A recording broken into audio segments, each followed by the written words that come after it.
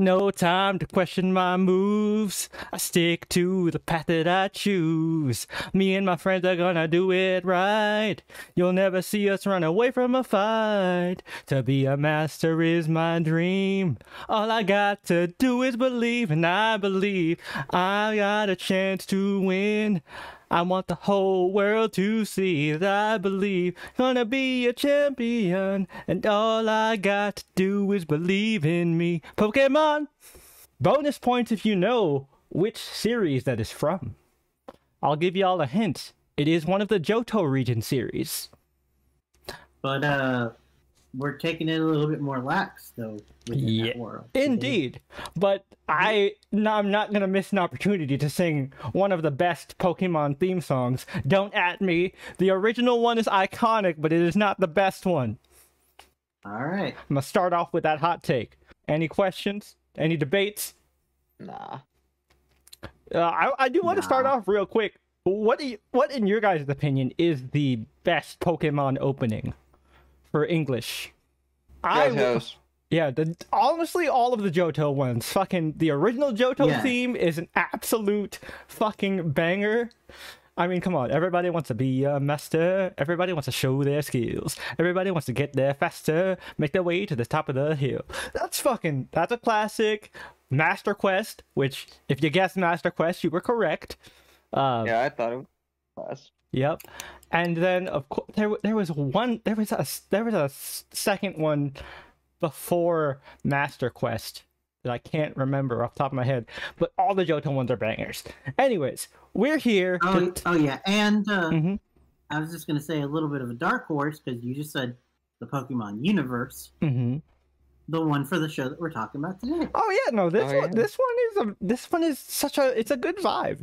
And the show we're It is. talking about today, people, and uh, fellow Pokemon trainers, is Pokemon Concierge, the new Netflix claymation special. I'm very excited Mhm. to talk about this. I very rarely get an opportunity to gush about Pokemon. And uh, since I've decided that Pokemon is going to be a fun with the homies game instead of a stream content game, I am really excited to talk about this. Before we get started about talking about the show proper, uh, let's go ahead and, uh, like we do with a lot of this, uh, these franchise stuff, when we it's the first time we dive into a franchise, let's give some background of ourselves on uh, our time in the wonderful world of Pokemon. We'll start with you, Brian. All right, so uh, mine is probably going to be the least out of the three here. I did grow up on the original, watched a lot of it, but then when I grew older, kind of fell away from it. And then when I was with these guys, they kind of reignited it a bit, and uh, I have played Violet, Scarlet, one of those. I can't remember which one. And uh, I think I Sword, yeah, you played Sword and Shield. Shield. Yeah, I remember you played Sword and Shield because you you got it around the same time as we did. Uh, also, Brian and also Brian has participated in two different Pokemon campaigns that I've run. One that lasted for a year, Mhm. and one that uh like kind of like petered out very early on because I was just out of ideas. Oh yeah, I played the newer games, but I've also played the uh, the older games. Like um, how I think I was gonna say how far I how had- far do you go up to before you uh before you fell off? I believe I played Red, Silver, Ruby, I actually Sapphire, uh, Ruby, Sapphire, Emerald. might have been Sapphire. Mm-hmm. mm-hmm. Uh, out of the two, Diamond and Pearl. Um, were any of them translucent? Uh, I mean, the the the, the pearl one's like cartridge was kind of translucent. The diamond one was blue. I may have played that, and I think I did at one point play. Uh, So to help you out, I didn't to help you out, uh, diamond and pearl is the one with Piplup, Chimchar, and Turtwig. then I will put that as a clear maybe. Okay. I do also remember I didn't buy it, but I did play Yellow when that came out, Oh, I loved yellow. and also I have uh, played Snap. I pl- I played the fuck out of Snap as a kid. I Well, want to. I want. I I want to get the new one. the one that I played the fuck out of and kind of like played a little too much of back in the day was another Pokemon game, Stadium. Stadium. Stadium and Stadium 2 were both of the both well the first Stadium game was the game where I rented it so often from Blockbuster. My mom was like, "You know what? It's cheaper if I just buy you this damn thing." I kind of had that too, but not with Stadium. It was with, I think it was Sly Cooper too. Oh man, Sly Cooper 2. Good one. All right. So, we'll go to Tony next and then we'll go to me. Tony, you like myself are a, uh seasoned veteran, so let's talk about your journey through the wonderful world of Pokemon. Started with blue. Uh, it was a gift from my dad, and I played it through a lot of uh, his deployments.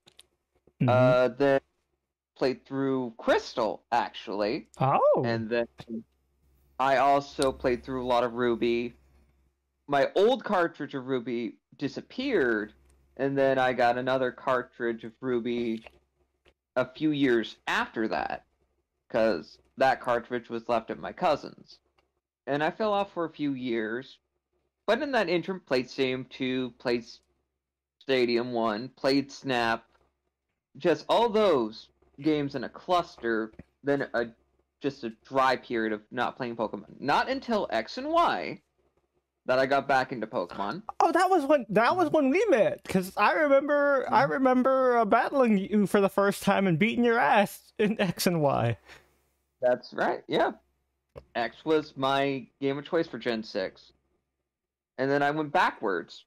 Gen 5, Gen 4, just to give you folks a summary of the games that I've played. Here are all the versions that I've chosen throughout my years playing Pokemon. Blue, Crystal, Ruby.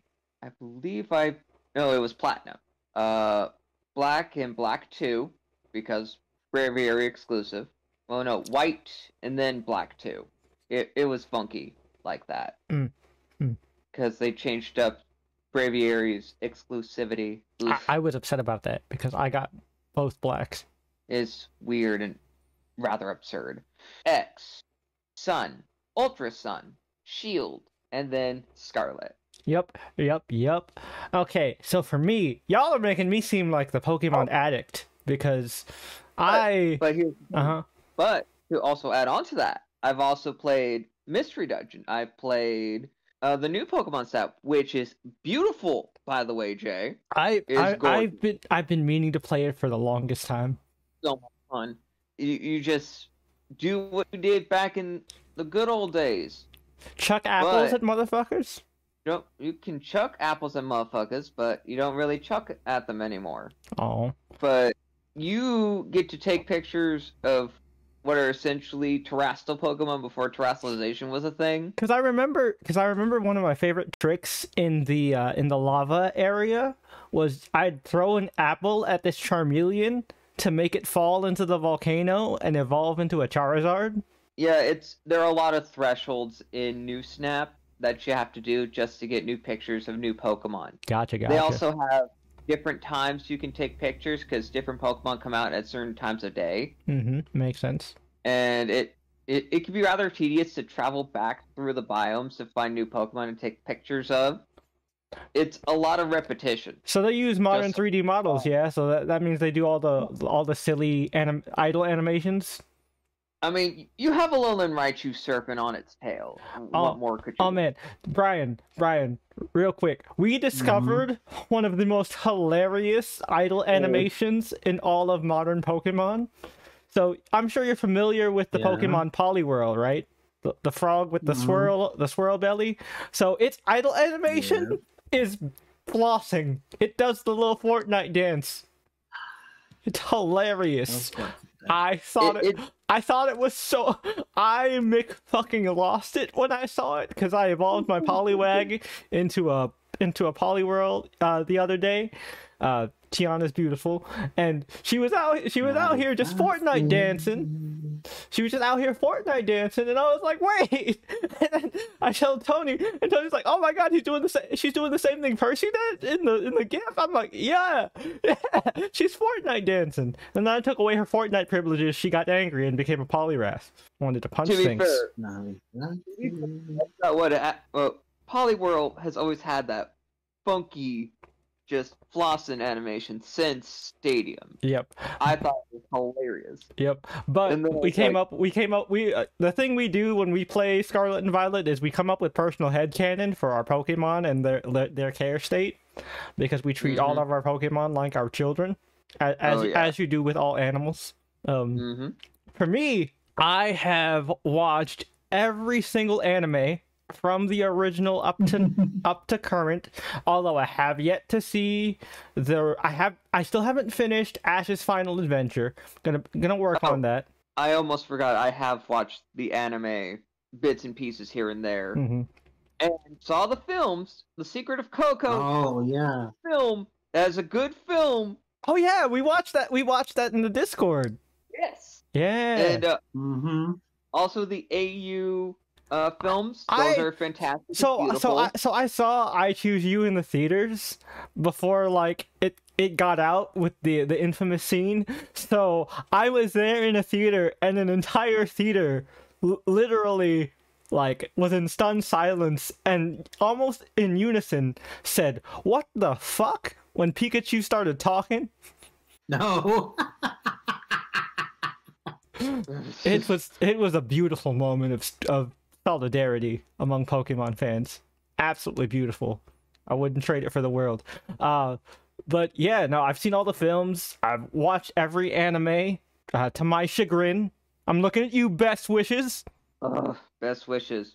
Epic cringe. Nothing but cringe. Cilan, you're cool. Irish, you become cool eventually. Not in best wishes. No. I And love you. I love you you know- though, Cilan. You're awesome. I'm never. I'm never gonna hate on you. Cilan's cool, but to be fair, the uh, the writers of the anime just just kind of shot themselves in the foot when it came to the uh, black and white anime. in terms of my game history, I've played every single main series game. Uh, to go to go down the list in order, I'll give you my game and my starter. So I got Red, very much like Tony. It was a gift from my dad uh, that I played a lot during his deployments, and he actually helped me out a lot because at the time I was like five, so I couldn't really read everything. So I kind of just like pressed buttons to see what happened. Is like, okay, if I press this button and this thing, it does flamethrower. Got it. So uh, I had red and I got a Charizard because as a kid I was like, well, you got to get the one on the box, right? That don't, that makes sense. So uh, silver, I got Cyndaquil. Uh, yellow, I, I had no choice. I got Pikachu, and I was very angry when I saw that blue got Eevee. I was like, what? That was an option? oh, I forgot about Let's Go. Throw that in there too. I I played Let's Go Pikachu. Oh yeah, eh, yep. And I got Let's Go I Eevee. remember. Yep, I got. I, remember because you told me when we were deciding to buy the fucking things. I would not have forgiven you if you did not let me get the Eevee one, okay? I would not have I know. forgiven you. I know, I know that, Jay. I was like, at least my Pikachu was cool. Listen, Prince was awesome, but Khaleesi beat his ass. Yeah, he, he did fine, okay, but Khaleesi, God, mm, She That w- she was she was a monster. Her, my boy Balerion, the Black Dread, my shiny Charizard. Amazing team. I'll get you guys from home once I get this motherfucker Corey to give me my data back. Um, oh, let's not forget the epic game that is uh Legends Oh, Arceus. oh, and Legend Arceus is historic. Yeah, is uh, I mentioned Le- that. Legend Arceus is historic for Tony. Uh, no, no, not Legend Arceus is not historic for Tony. BDSP Oh, is historic for BDSP, yeah. Tony because Tony got his first win off of me in BDSP. Tony, Yeah, Tony's 'cause- current record is one and thirteen. yeah, I forgot about BDSP. I think I have Brilliant Diamond? No, I have Brilliant Diamond, so you had Shining Pearl. Oh, Shining Pearl, yeah. Yep. Yeah, yeah, yeah. Oh, yeah. So um So what was I saying? Ruby, Sapphire, Emerald. I had Sapphire, and I chose the boy Treecko because Treecko is fucking awesome. Sorry, Treecko is up. sorry to see what happens to you when you become an adult and you get too stressed and lose all your cool hair.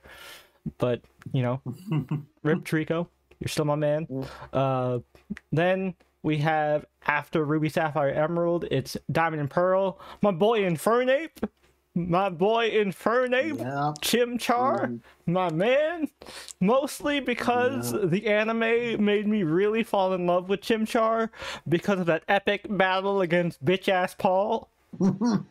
To be Mhm. fair, Paul was just on some special kind of timing Oh yeah, during that. and then you know we're not going to talk about the rest of that league because fuck Tobias. Mm. Anyways, Mhm. um, but yeah, Chimchar is my man. You know, Ruby, Sapphire, Emerald, or or Diamond and Pearl. That was Diamond and Pearl. Ruby, yeah, Ruby, Sapphire, Emerald. I did Treecko. Diamond and Pearl. I did Chimchar. What after after DP was uh Black and White. Mhm. Yep, yep, yep. Uh, so in Black One, I chose Serperior. I named her Marie. Uh, she was she was amazing. She was elegant. She was smug. I love her. I will always love her. Uh, then in Black Two, I went with Emboar, and his name was Lu Bu, and he was a legend. He was almost named Red Hair, but I was like, he's not a horse. That doesn't make sense. After Black 2 was X and Y. yep. X and Y. Uh, my first playthrough, I chose Best Frog Greninja. His name was Uriah. He was he was amazing. Then the second playthrough, I played as uh, Delphox, who like was a sup- like surprising like really grew on me. I don't hate Chespin. It's just he's the least cool out of those three. Um, Oh, I forgot. I forgot the remakes. I chose Leaf Green. Oh, and yeah. Then I chose uh, Soul Silver. Then I also picked up Omega Ruby because here was my philosophy at the time. uh huh. I wanted to get remakes that corresponded with the game that I chose. Same. That's what I did. So I chose Leaf Green because, well, I picked blue. Yep. I chose Fire Red.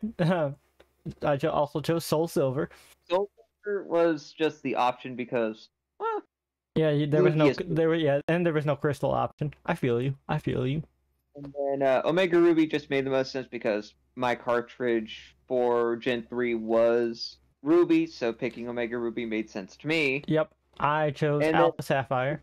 And since I had Platinum, Shining Pearl just kind of became the remake that I chose. And then though, like uh, you know, some of my favorite moments from Pokemon games, just main series, just talking about regular main series.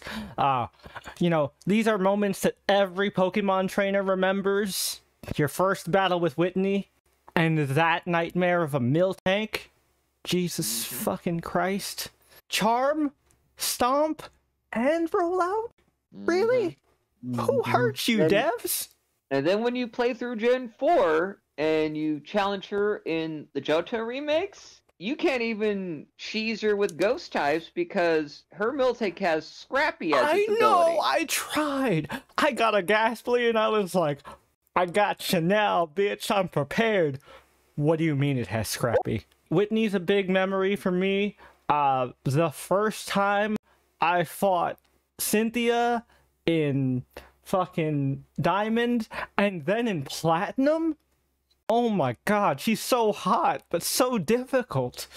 Oh, I remember my fight with Cynthia. It was a long, drag out fight because I knew ahead of time and I was well prepared for any shenanigans on her platinum team. Mhm. I had a relatively easier time on my end. See, I, see. I played both when they were fresh, and for the first time, it was the Spiritomb that fucked me up. The second time, the Spiritomb was still tough, but my Swampert Shrek was prepared. Mm. It was all over But- now. You and I can agree, Jay. Her rematch teams in BDSP are fucking peak. Insane, and the remix theme, yo, Mm. shit Yeah. slaps. It Uh, was intense. also Just the crazy. Volo boss fight in Arceus, one of the best. One of Oh, the yeah. best. for sure, for sure. Volo easily one of like the top tier characters in all of Pokemon. I also have Just to give I also have to give big credit because I didn't really talk about uh, Sun and Ultra Sun and Ultra Moon, which for that I got Decidueye the first time. He was Ollie. Mhm. My first playthrough of Ultra Moon was uh, also a Decidueye. This time I named him Connor.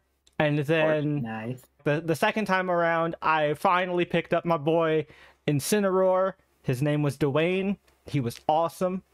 No, his name was Rick. His name was Rick. He was Ric Flair. He was Rick Flair. Ah, nice. Love that guy. He's amazing. Absolute legend. Hall of Famer.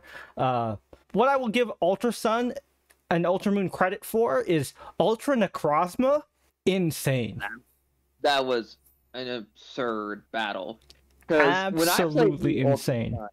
Because I did something rather unique with my playthrough of Ultra Sun. Because playing through just regular Sun, I did my normal playthrough. Mhm. rigmarole.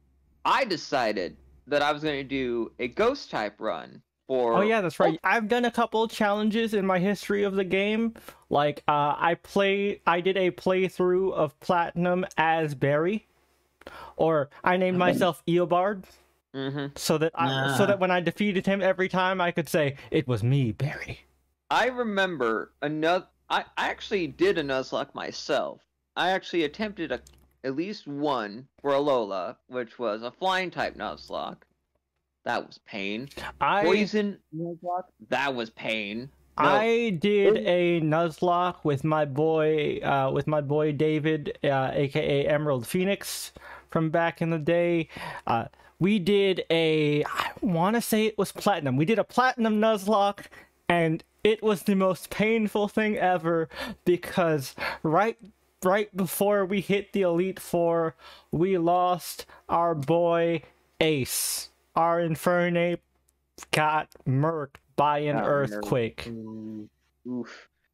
And my most So sad. successful Nuzlocke, well, the only Nuzlocke that I've completed actually, hmm is a shield bug type Nuzlocke.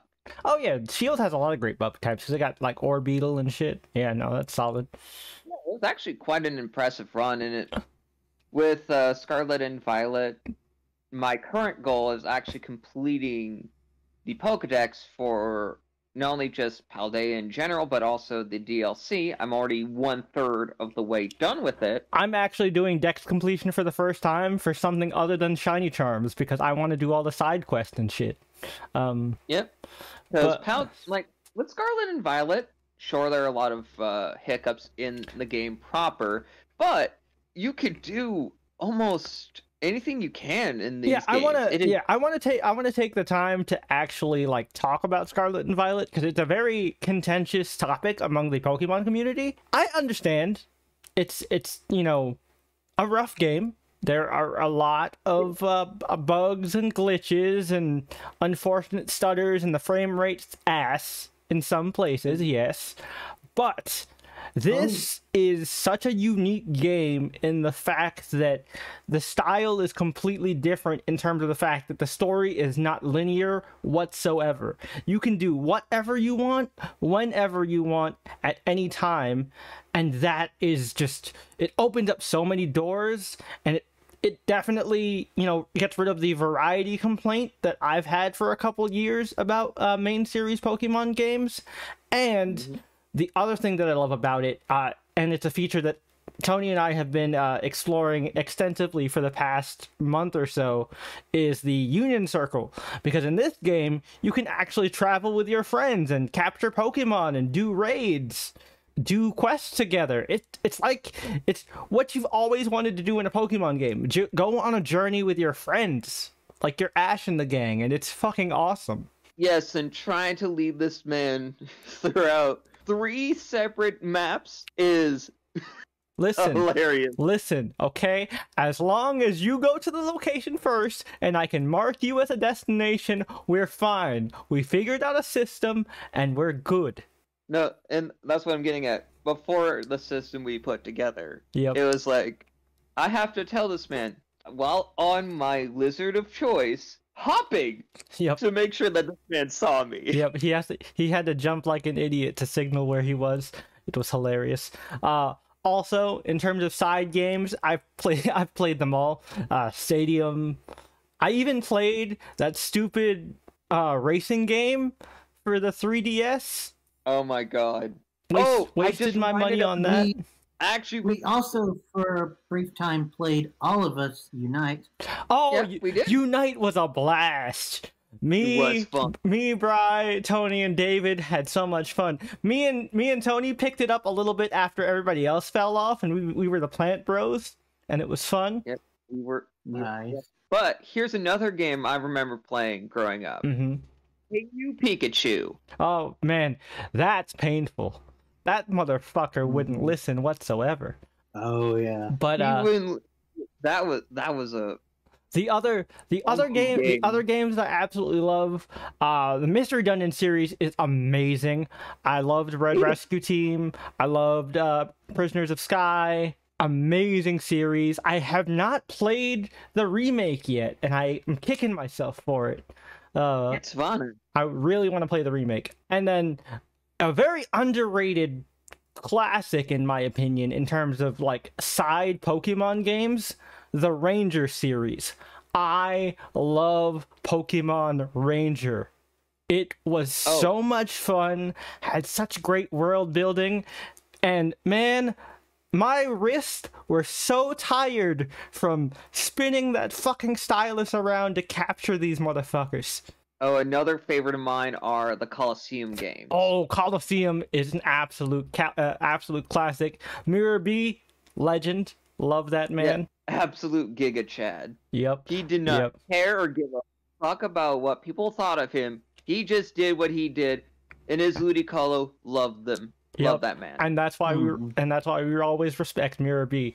But yeah, so that was a not so brief journey through our uh, history in the wonderful world of Pokemon. So now we are on to the discussion proper for Pokemon Concierge. Now, the reason I did such an Uh, overextended Yeah, we'll go to the news in a second. But I was just gonna say the reason I did such an overextended intro for this was because the discussion we're gonna have after this segment is probably not gonna be that long, and I want to give you guys at least you know your your average Ah. channel chasers episode. Mm. Let's go. Before we jump into the discussion proper, of course, we're gonna jump right into the news with Brian.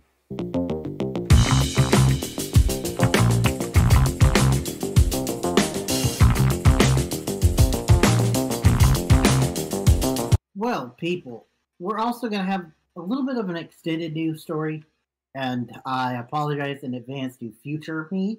I do not forgive you. We got to cover it. The Golden Globes were recently, and so we're going to talk about that. We never really got a chance to uh, talk about the uh, nominations because of the strike and all. So Yep. if there are any notable ones, I'll point that out as we go across the winners. I've got the list right here. And even though people are talking about, we're not really going to talk about like the drama from the night, like uh, the fact that uh, Jo Koy kind of bombed Oh, and you hate to see it. and uh, called out Taylor Swift for no reason. What did he what did he call out Taylor Swift for? Like what did he say? What did he say to Taylor? We're going to see less cutaways to her than in the NFL. Damn. Why you gotta do that to Taylor, man? This isn't just me being a Swifty, but what did Taylor do to you? You, you know? Taylor has a history with award shows, bro. But the cool thing is, did you ever see the Golden Globes? No, I didn't. You know who else was sitting right next to her? Who? was also nominated for an award? Her girl Selena. Nice. Oh, for only murders in the building? Yep. Nice. Taylor was nominated for uh, the theatrical run of uh, the Eras Tour. Oh, I've been I've been wanting to see that honestly. it's It the only way I'd the, be uh, able to afford the Eras Tour. I'm going to start off with Best Performance from a Male Actor in a Supporting Role on TV. Do not know if you guys have watched Succession.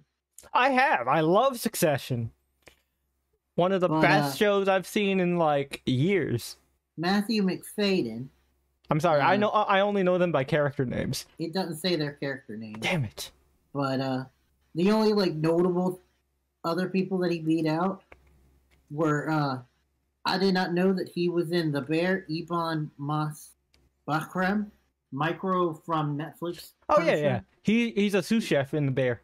Yeah. Oh well, he got nominated, Cool. and He's then good. also I think this is his first time being nominated. James Marsden, Oh. Oh. and he got nominated for playing an exaggerated version of himself. good for him. Good for Jury him. duty. One that had a lot more contention was a supporting role for female on Mhm. TV. Mm-hmm. Mm-hmm. The winner was Elizabeth Debicki for The Crown. Good. I don't know if you guys have been keeping up with the crown, but it it it get it gets better No. the further it goes because it just get it gets juicier.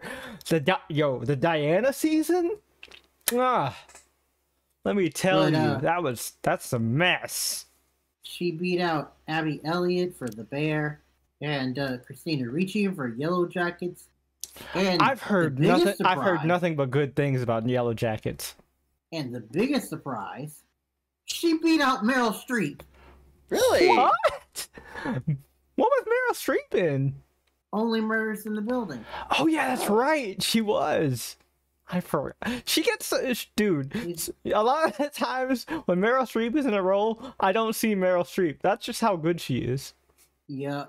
Then uh best performance from male actor in the limited series, anthology, or motion picture made for TV. hmm Steven Yeun for Beef.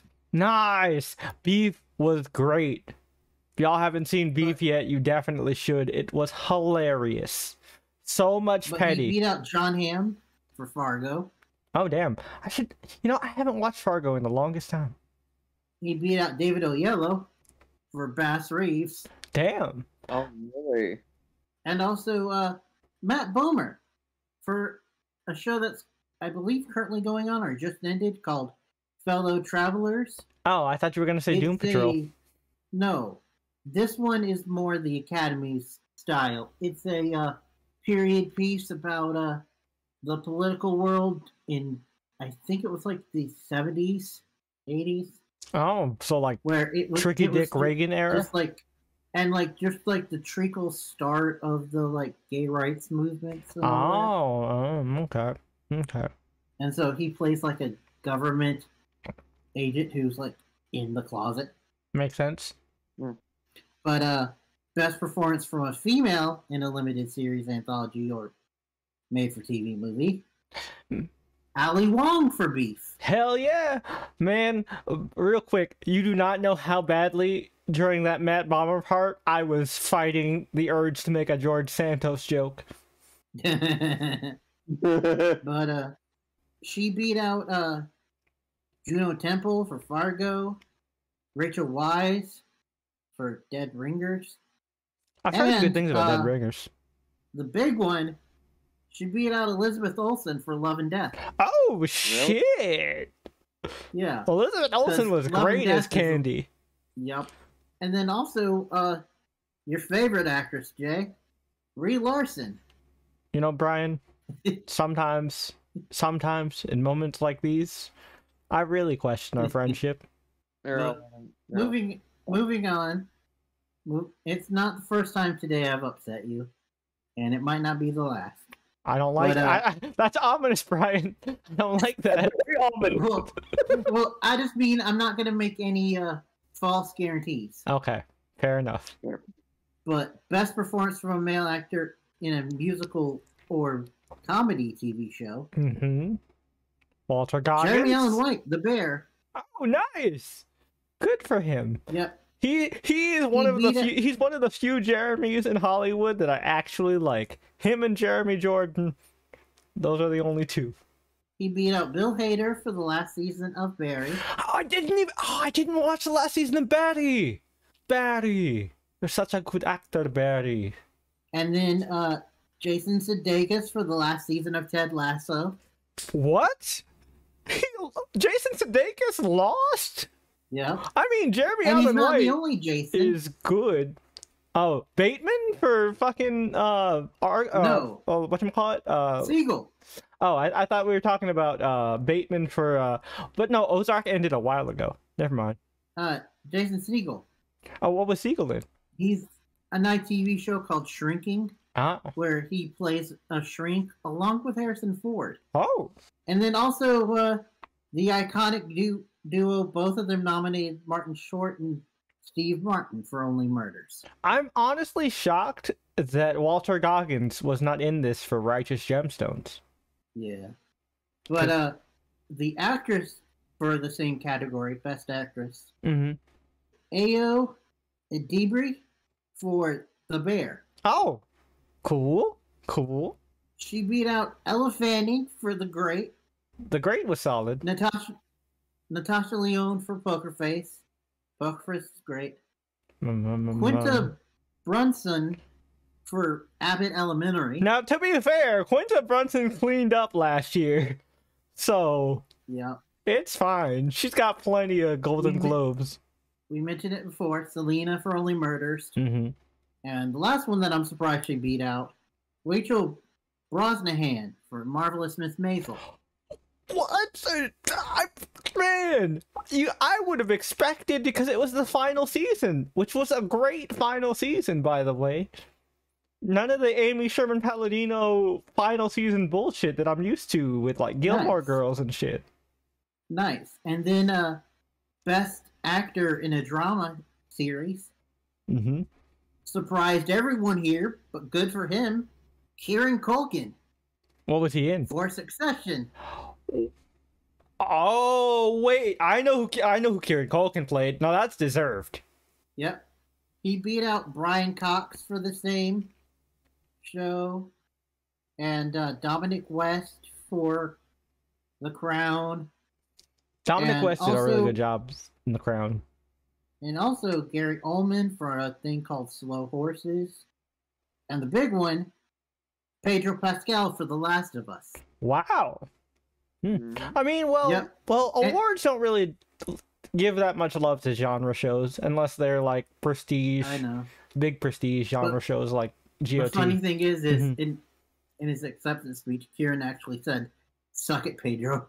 That's hilarious. That is that is funny. And he sh- he should have. You know what he should have said? He should have said, "Who's your What? daddy now, Pedro?" And That's what I would have then said. the one, the one that has a lot of good people in it, best actress for a drama series, and the one was uh, Sarah Snook for Succession. also deserved. Succession is a fucking Right. masterpiece, y'all. A masterpiece of white people being extremely messy. If you want to watch rich white people do underhanded rich white people things, watch Succession. But get this, all the people that she beat out: Okay. Bella Ramsey for The Last of Us, Mm-hmm. Mm-hmm. Emma Stone for her new show, The Curse. Never. I've Mm. never seen it. I actually have never heard about this one. from what I heard, it's about this couple that's doing this like ITV esque renovations show, Mhm. but then the house turns out to be haunted. Oh shit. Well, you know, But it's a white couple. but also beat out Helen Mirren for 1923, Imelda Staunton for The Crown, Damn. Mm. and Keri Russell for The Diplomat. I've heard good things about the diplomat. Yeah. Uh, best limited series, anthology, or made for TV movie, Beef. Of course. Well deserved. And uh, I mean- some of the notable I mean, things, still, Love and Death. Love and Death would have been my second pick, to be honest. Mhm. Well, Love and Death wasn't even nominated. What? hmm That's a crime. Uh, the nom the nominations were Beef, Lessons in Chemistry, which is the Brie Larson show, Yeah, Apple TV keeps tr- telling me I need to watch it, but I'm not gonna. You're not gonna force me, Apple TV. Fellow Travelers, which I already told you about, hmm Fargo, Daisy Jones and the Six. What the fuck is Daisy Jones and the Six? I've never heard of this one. It follows the fictional li- lives of an like '60s band. He's done like behind the music style, Oh, okay. Hmm. and then all the light we cannot see, which is basically about a blind girl trying to survive the Holocaust. Damn. Oh. That's fuck. that's usually a that's a that screams award Yeah. bait. Yeah, that That's def- why that's why I was surprised. But uh best TV show, musical or comedy, Mm-hmm. The Bear. Yep. Yep. I've And only seen one out Abbott- season, but it's amazing. Nice. He beat out Abbott Elementary, Barry, Jury Duty, Only Murders in the Building, and Ted Lasso. I I'm still shocked. Ted Lasso hasn't won anything. Ted Lasso's so good. I think he did last year. Uh th- that makes sense then. Uh Cause like you know, I totally legally watched all all the seasons. best drama show, Succession. Duh. Notable things that it beat out were 1923, The Crown, and The Last of Us. See, I don't know if I'm ready to tr- uh, to try out another year named uh, Taylor Sheridan show. It looks great, but like Brian, you were you weren't there when we watched 1883. But uh, the emotional wreckage is but, uh, real. best song for a motion, original song for a motion picture. Mhm. What was I made for? Barbie. Great. It's one of my favorite numbers. Indeed. And uh, it beat out a couple other things from Barbie, a couple other things that you'd expect for the normal stuff. I won't go into it. What about uh? But also, Did the- any of the songs from uh, Ballad of Songbirds and Snakes make it? Because like that was kind of like a semi-musical. What the damn?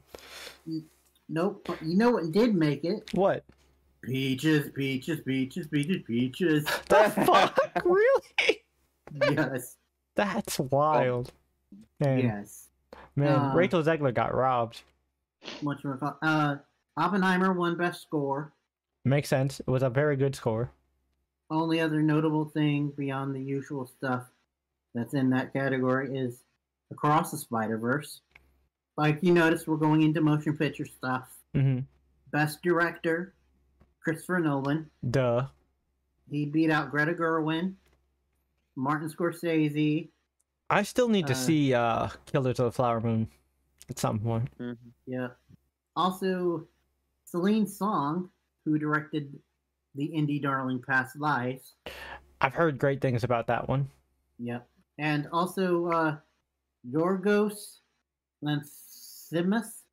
Uh, he directed Poor Things, Oh, I've heard great That things about that one too. that new Emma Stone movie. Yep, I've heard good things about Poor Things as well. Basically, a Frankenstein creature. Yeah, yeah. It, it, it's Uh, it's like a modern reframing of Frankenstein. Yeah. Uh, which might actually come up again, believe it or not. Oh, But uh, best performance from a male actor in a supporting role in a motion picture, RDJ. Oppenheimer. Yeah.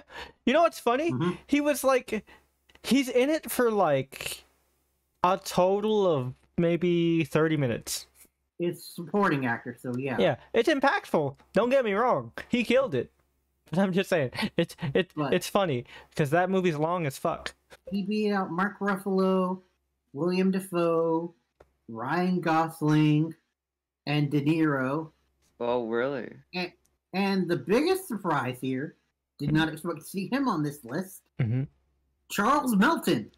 What was Charles Melton? He was in a movie with Julianne Moore called May December. Oh, I've heard a lot of good things about May December because that's she teamed up with the the, the one director that she's always working with. Apparently, he was in it, and he got a Golden Globes nomination. You guys, you guys, you guys, him. you guys know what May December is, right? So May December is this movie about a about a chick that Julian. So Julianne Moore plays this chick who is an actress who is playing a woman in a biopic movie about a woman who seduced her student and then after she got out of prison she married said student Hmm. and had a family and everything. Yeah. Very interesting movie. I haven't seen it. I've heard everybody talk about it. There's a lot of buzz behind it. I really want to see it because uh Julie uh, Julianne Moore and I don't remember this director's name, but the director have done some really good shit. Nice. But uh, best supporting female in a motion picture, Da'Vine Jo Joy Randolph, Nice. The Holdovers. Nice. Yeah, you t- you, She- you yeah, you Alexa, you really talked that one up. she was also a big surprise because she's not really in the trailer. This is a, yeah, this is a good follow up to the New Year's episode actually. Huh. Yep. That's why I decided to go in a little bit more detail. hmm But uh, she beat out Danielle Brooks for the color purple. Which I've heard is actually r- really good, but it's only good if you're a theater person. Like, because like Mhm. a lot of people were caught off guard with the fact that it's actually cl- much closer to the Broadway play, which was also a musical. mm-hmm. And also by the fact that uh, some of the subtext they actually made text. Yep, and they made songs about it. She beat out uh, other people like Emily Blunt for Oppenheimer, Oh, she was great in there. Julianne Moore for May December, and Rosamund Pike for uh, Saltburn. I've heard really good things about Saltburn. I've heard good but weird. Yeah, but like movie. it's it, it it seems like the type of art house shit that is up my alley. best male actor in a motion picture, musical, or comedy, Paul Giamatti, The Holdovers. All right. He beat out Jeffrey Wright for American Fiction. I heard good things about American Fiction. Yep. Joaquin Phoenix for Beau is Afraid. Oh, I, you know, after we saw that trailer, I really wanted to see that one. Matt Damon for Air. I've heard good things about Air. Nicolas Cage for Dream Scenario. Oh man, I that was one I also meant to go see at some point. Well, it's gonna be on uh, Max because it's A24. Oh, we're we're adding that to the queue. And I don't care what I don't care what it's actually called. From now on, in my personal head canon, it's called I Dream of Nick. I Dream of Nikki Mm-hmm. to go with I And Dream then of the Jeannie. last one is uh, Timothée Chalamet for Wonka. People hate on Wonka for no reason. It's a very good, like, heartwarming holiday movie. Honestly, it's much closer to the Gene Wilder one than the, uh, honestly, honestly terrifying and unsettling Johnny Depp one. And also, it about does its it. own thing too. And like it also has the, like the, the the right proper like over the top cartoony evil villains for your you know your Mhm. family Christmas movie. It's great. I mean, yeah. Um. if we're talking about Yeah. individuals that want to do like shady corporate stuff because they are just greedy as hell, Oh yeah. then there you go. D- oh yeah. No, it, it is- Mhm. it is like cartoon oil baron levels of evil corporate douchebaggery. But It's great. Epic. yeah, best female for a motion picture, musical, or comedy. Okay. Emma Stone. Poor Things. Nice. Then uh, other notable people for this is Fantasia Barrino Oh.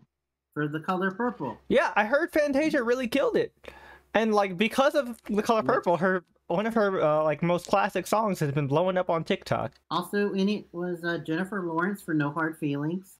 Nice. She was Uh, hilarious. Margot Robbie for Barbie. Great. And Natalie Portman, who's also in May December. Yeah, she so Natalie Portman plays the uh like plays the actress. Uh I think Julianne Moore plays the uh plays the actual like former teacher. Oh. Okay. Yep. Cool. Best performance from a male actor in a motion picture. Mhm. Cillian Murphy, Oppenheimer. Nice. That one's a dub, but great. Well deserved. Yeah. Yep. Especially since uh he was getting dogged on by uh Bradley Cooper. Yeah, right. But we won't get into that. Uh the people that he beat out were uh Barry Keoghan for Saltburn. hmm Didn't know Andrew Scott for uh All of Us Strangers, which by the way, if that name doesn't sound familiar to you, No, I know. who- uh, Wait, no, I'm thinking of Adam Scott, not Andrew Scott. Andrew Scott is uh the the Steven Moffat uh Moriarty. Oh, Him. I thought. See, I thought that. I see. I for some reason I thought that was Adam Scott, the dude from Fleabag. No. Uh, yeah. Uh, he's also in Fleabag. Oh, His name is Andrew Scott. oh, it's Andrew Scott. For some reason I thought his name was Adam. Adam Scott is the dude from uh, Parks and Rec. Oh, see, that's where it is. That's the confusion. Yeah. Lee, he beat out DiCaprio. Wow. I mean, Leo, Leo got his one. He's fine. Yeah, he'll be good. And then uh, Colman Domingo for Rustin. Never heard of this one. It's a uh, it's made for streaming movie. I think it was on Netflix. hmm Uh, the Obamas produced it. It's about uh James Rustin, the dude who was um the secret script writer for for uh, Martin Luther King, Oh, I, I have heard of this. but he he didn't get a lot of press because he was also openly gay. Uh huh. Yep. Yep. I do remember hearing about it. And uh, the guy who played him, Colman, right here, you also know him from something else, Jay. Oh. He's Ali in um, Euphoria. Oh shit! That spe- that one shot special gave me so much hope Mhm. that was dashed away as soon as I actually watched season two. And there's also uh, rumors that uh, he might be the person that Marvel's going for for a recast King. That would be great. Yep. But uh, moving on to Best Female Actor in a Motion Picture, Lily Gladstone for Killers of the Flower Moon. Good for her. N- n- Big Native American dub. Let's go. Most of these I have not heard about. Um, but uh, Annette Bening for Nyad. Never heard of that. I don't know what that is. Also, uh, Greta Lee for Past Lives, which good for her for at least getting a nomination. Mm-hmm. Mm-hmm. And then also uh, Carey Mulligan, good actress. Don't know if I trust the movie that she's in. What was the movie? Uh, Maestro, the Bradley Cooper one, where he wrote wore the prosthetic nose. Oh. Yeah. Then uh, best cinematic and box office achievement, Barbie. Duh. I'm, su- I'm surprised Oppie isn't right there with her. had some stiff competition though. Guardians 3, John Wick 4, the latest Mission Impossible, Oppenheimer, Across the Spider Verse, the Mar- Super Mario movie, and Taylor Swift the Era Tour. You know what's crazy? I own I there are only two movies on that list that I haven't seen. Yeah. And then uh best animated picture, The Boy and the Heron. I I wanted to see that. I wanted to see the animation for that Hayao looks Miyazaki's amazing. Latest. hmm I don't like I don't like Miyazaki, features- but I I like I like the work. But it beat out uh Elemental, Elemental was good. Wish, Good. Across the Spider Verse, Fuck Wish. Fuck it with a ten foot pole. Across the Spider Verse, and then the also Japanese hit of the year, Suzume. Oh, I saw Suzume. Suzume solid.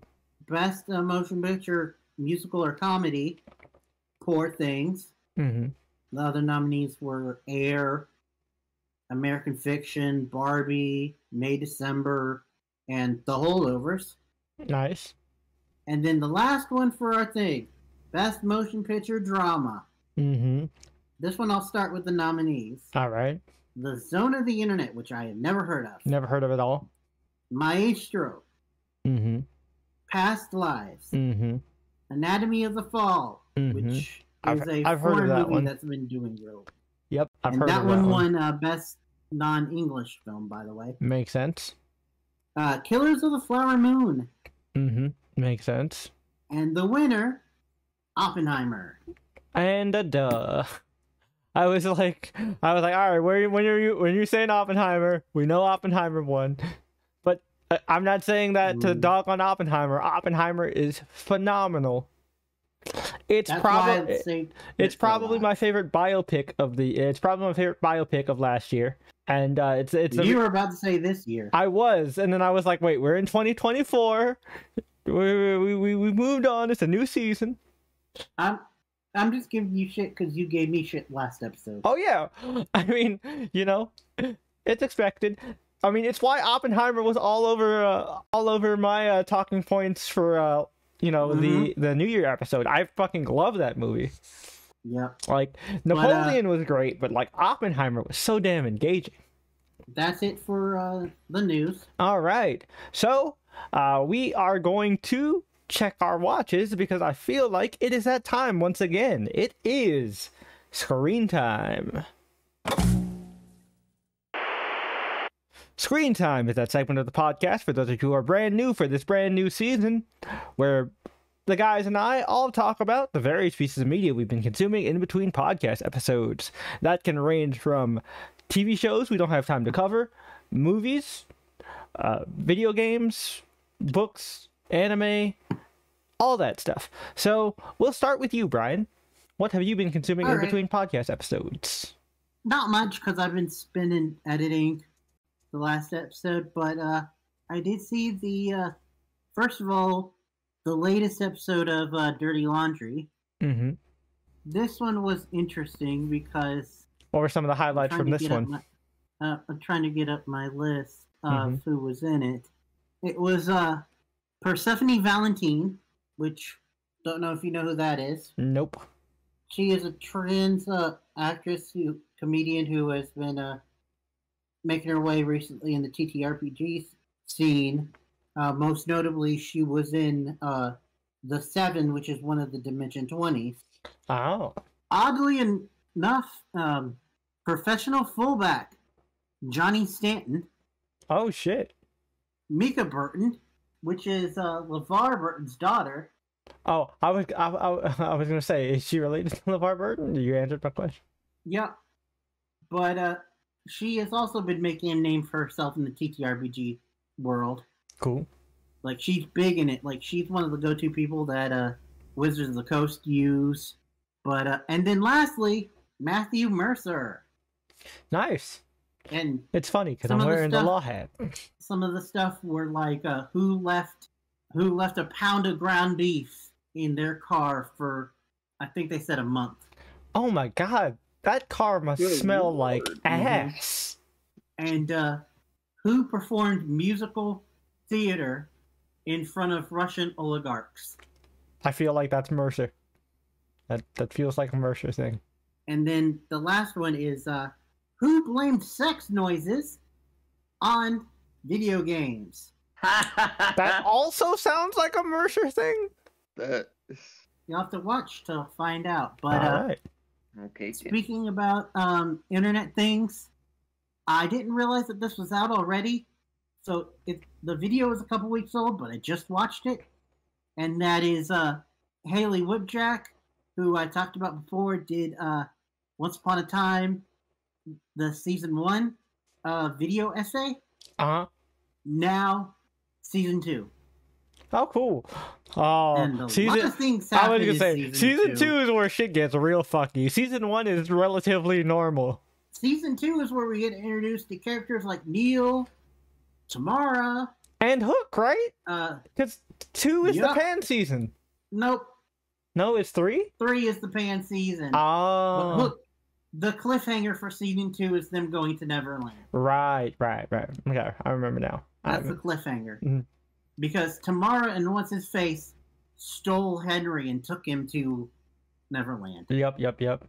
But it's also where we find out about Gold being the crocodile. Yep.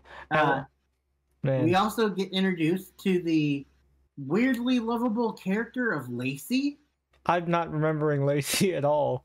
Lacey was was Belle's storybook personality that didn't come out originally. Oh, that she was in the prison.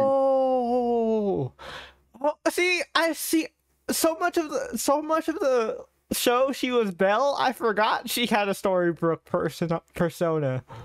The thing is, is she initially didn't because during the whole entire Storybrooke thing, she was just trapped in Regina's prison thing. Yep, yep, yep. But uh, but then once some magic fuckery happens, she finally gets her personality. Also, Tony, you're gonna get a kick out of this. Uh, Belle in Once Upon a Time was Australian, or at least she was played by an Australian actor- actress, so she had an Australian accent. Hilarious. It was the Australian chick from Lost. Yep. I figured much. Also got introduced to, uh, I believe her name's Cora, Regina's mom, Right, right. The, the the super evil queen. the one who we later find out, spoiler alert, is also the Queen of Hearts. Yep, and she wanted to fuck Rumple, right? Oh yeah, she wanted to fuck Rumple, but as Rose McGowan. Yep. Well, Rose McGowan played the younger version of her. Yep. Yeah, Once Upon a Time is very. Yeah, Once Upon a Time is very confusing and it's also very hey, that guy was in this. Yeah. Uh It's also where we uh, got the quick write off for August, aka the Mad Hatter, because he's now starting to pop off in the MCU. wasn't August Pinocchio? Well, whoever Mad Hatter was. I forgot his name now. Yep. But August was Pinocchio, you're right. For most of this season, he's he's just wood. Yep. Uh, that's not a euphemism. I mean, you know, if you if you if you ask Emma, Oh yeah. But uh we also got introduced to possibly once upon a time's Mushu. wait, when and did, then wait, immediately wait, kill him. when did that happen? I don't remember Mushu showing up at all. I remember Mulan. Uh when August goes to China mm-hmm. And meets Tamara there, they're both trying to make a deal with the dragon. Oh. Oh, see, when you That's why I when, said maybe. when you see when you say it out loud, it all comes rushing back. I just said maybe Mushu because he's called the dragon, Man, Once Upon a Time was a wild yeah. experience. and this was also the season where they introduced the uh, Snow has darkness in her Oh heart. yeah, the, oh yeah, the Tainted Heart arc for Snow. I remember that. Yeah, it's th- it started here. Wasn't that the like that was the that was made because they needed to shelve her for a little bit because she was pregnant, right? I don't know, maybe because the reason why it happened is because she basically killed Cora. Yep. She took she lied to Regina. Well, first she tainted Cora's heart, and then got Regina to put the heart back in. It makes sense. Oh, yeah, A if you little bit more if, if if you you- if you know the actual rules of Once Upon a Time, this does not sound like complete gibberish. But yeah, I remember because like uh she found out that Cora was the reason for all the bullshit that happened to Snow indirectly because she was the one who fucked up Regina's life. Mhm. And then yeah, yeah, hmm I remember. and then kept pushing for Regina to become her stepmom. that was actually a very good twist. This was one Once Upon a Time was had still some really good consistent drama. Yeah, but it also had some like missteps. Uh, Haley does really good job. She dresses in costume for this like three plus hour re- video essay hmm and does a really good job. It at one point she goes from dressing like a prince to dressing like a princess Nice. and has like the big ball gown and everything and it's like so uh i guess i'm gonna stand for this half of the video because there's no way in hell i can sit in this dress Understandable. i did not think this through Understandable. meanwhile her cat keeps coming in wanting to be held so she's in this elegant ball gown holding her cat recapping once upon a time Listen, I would need to hold an animal to recap Once Upon a Time without losing my mind. And well, yeah, because there are some low parts in it. Like one of the ones that I didn't really fully think through until she pointed out. Okay, I'm I'm ready. I'm ready for this. When when they do the recap with Neal and Emma, Uh huh. and they show when they first meet. Mm-hmm. Story wise, they tell us that she's 17 and he's early 20s. Uh huh. Yet they're played by the same exact actors as modern times. Yeah, that is. Holy shit! You're right. What? the the only thing they did for Emma was give her, I think, no or little makeup and glasses. I was just saying they gave her glasses and they changed her hair a little bit. Like they did the '90s. That they was the '90s ugification. That was it. That's all they did to make you think that a woman that is in her early 30s to look like a 17 year old. To be fair, all I need to look like a 17 year old is to shave. I know. But also, it was just a little bit jarring Oh, yeah, no, I understand. and weird. But that's the show in a nutshell. So I'll Yeah, leave there. Go watch the. If you like video essays and you like fuckery, go watch Haley with I. I want you like if if we get a chance to, we gotta tell Cap to watch that shit at 1.5 times speed so that he can so he can see that we weren't bullshitting at all during that like Mhm. hour and a half conversation. Oh yeah, and uh, then I actually watched one episode of an anime that we possibly can discuss later. I think it's Deliciousness in Dungeon. It's delicious in Dungeon. I watched the first episode of that Delicious in actually today. Oh my god, I think we need to cover it. Hundred Um, percent. Tony, it- Tony, Tony. I, I I got this one, Brian. Tony, Tony, Tony, my man, my pal, Mhm. my friend. mhm. Do you like Compadre? do you like anime food porn? Yes. Do you like Studio Trigger? Yes. Do you like Studio Trigger animation where it's just anime food porn and occasional action where they fight monsters to make the anime food porn? Yeah. This show is amazing. Bet. Yeah, I didn't know I needed and- Studio Trigger food porn until I saw this.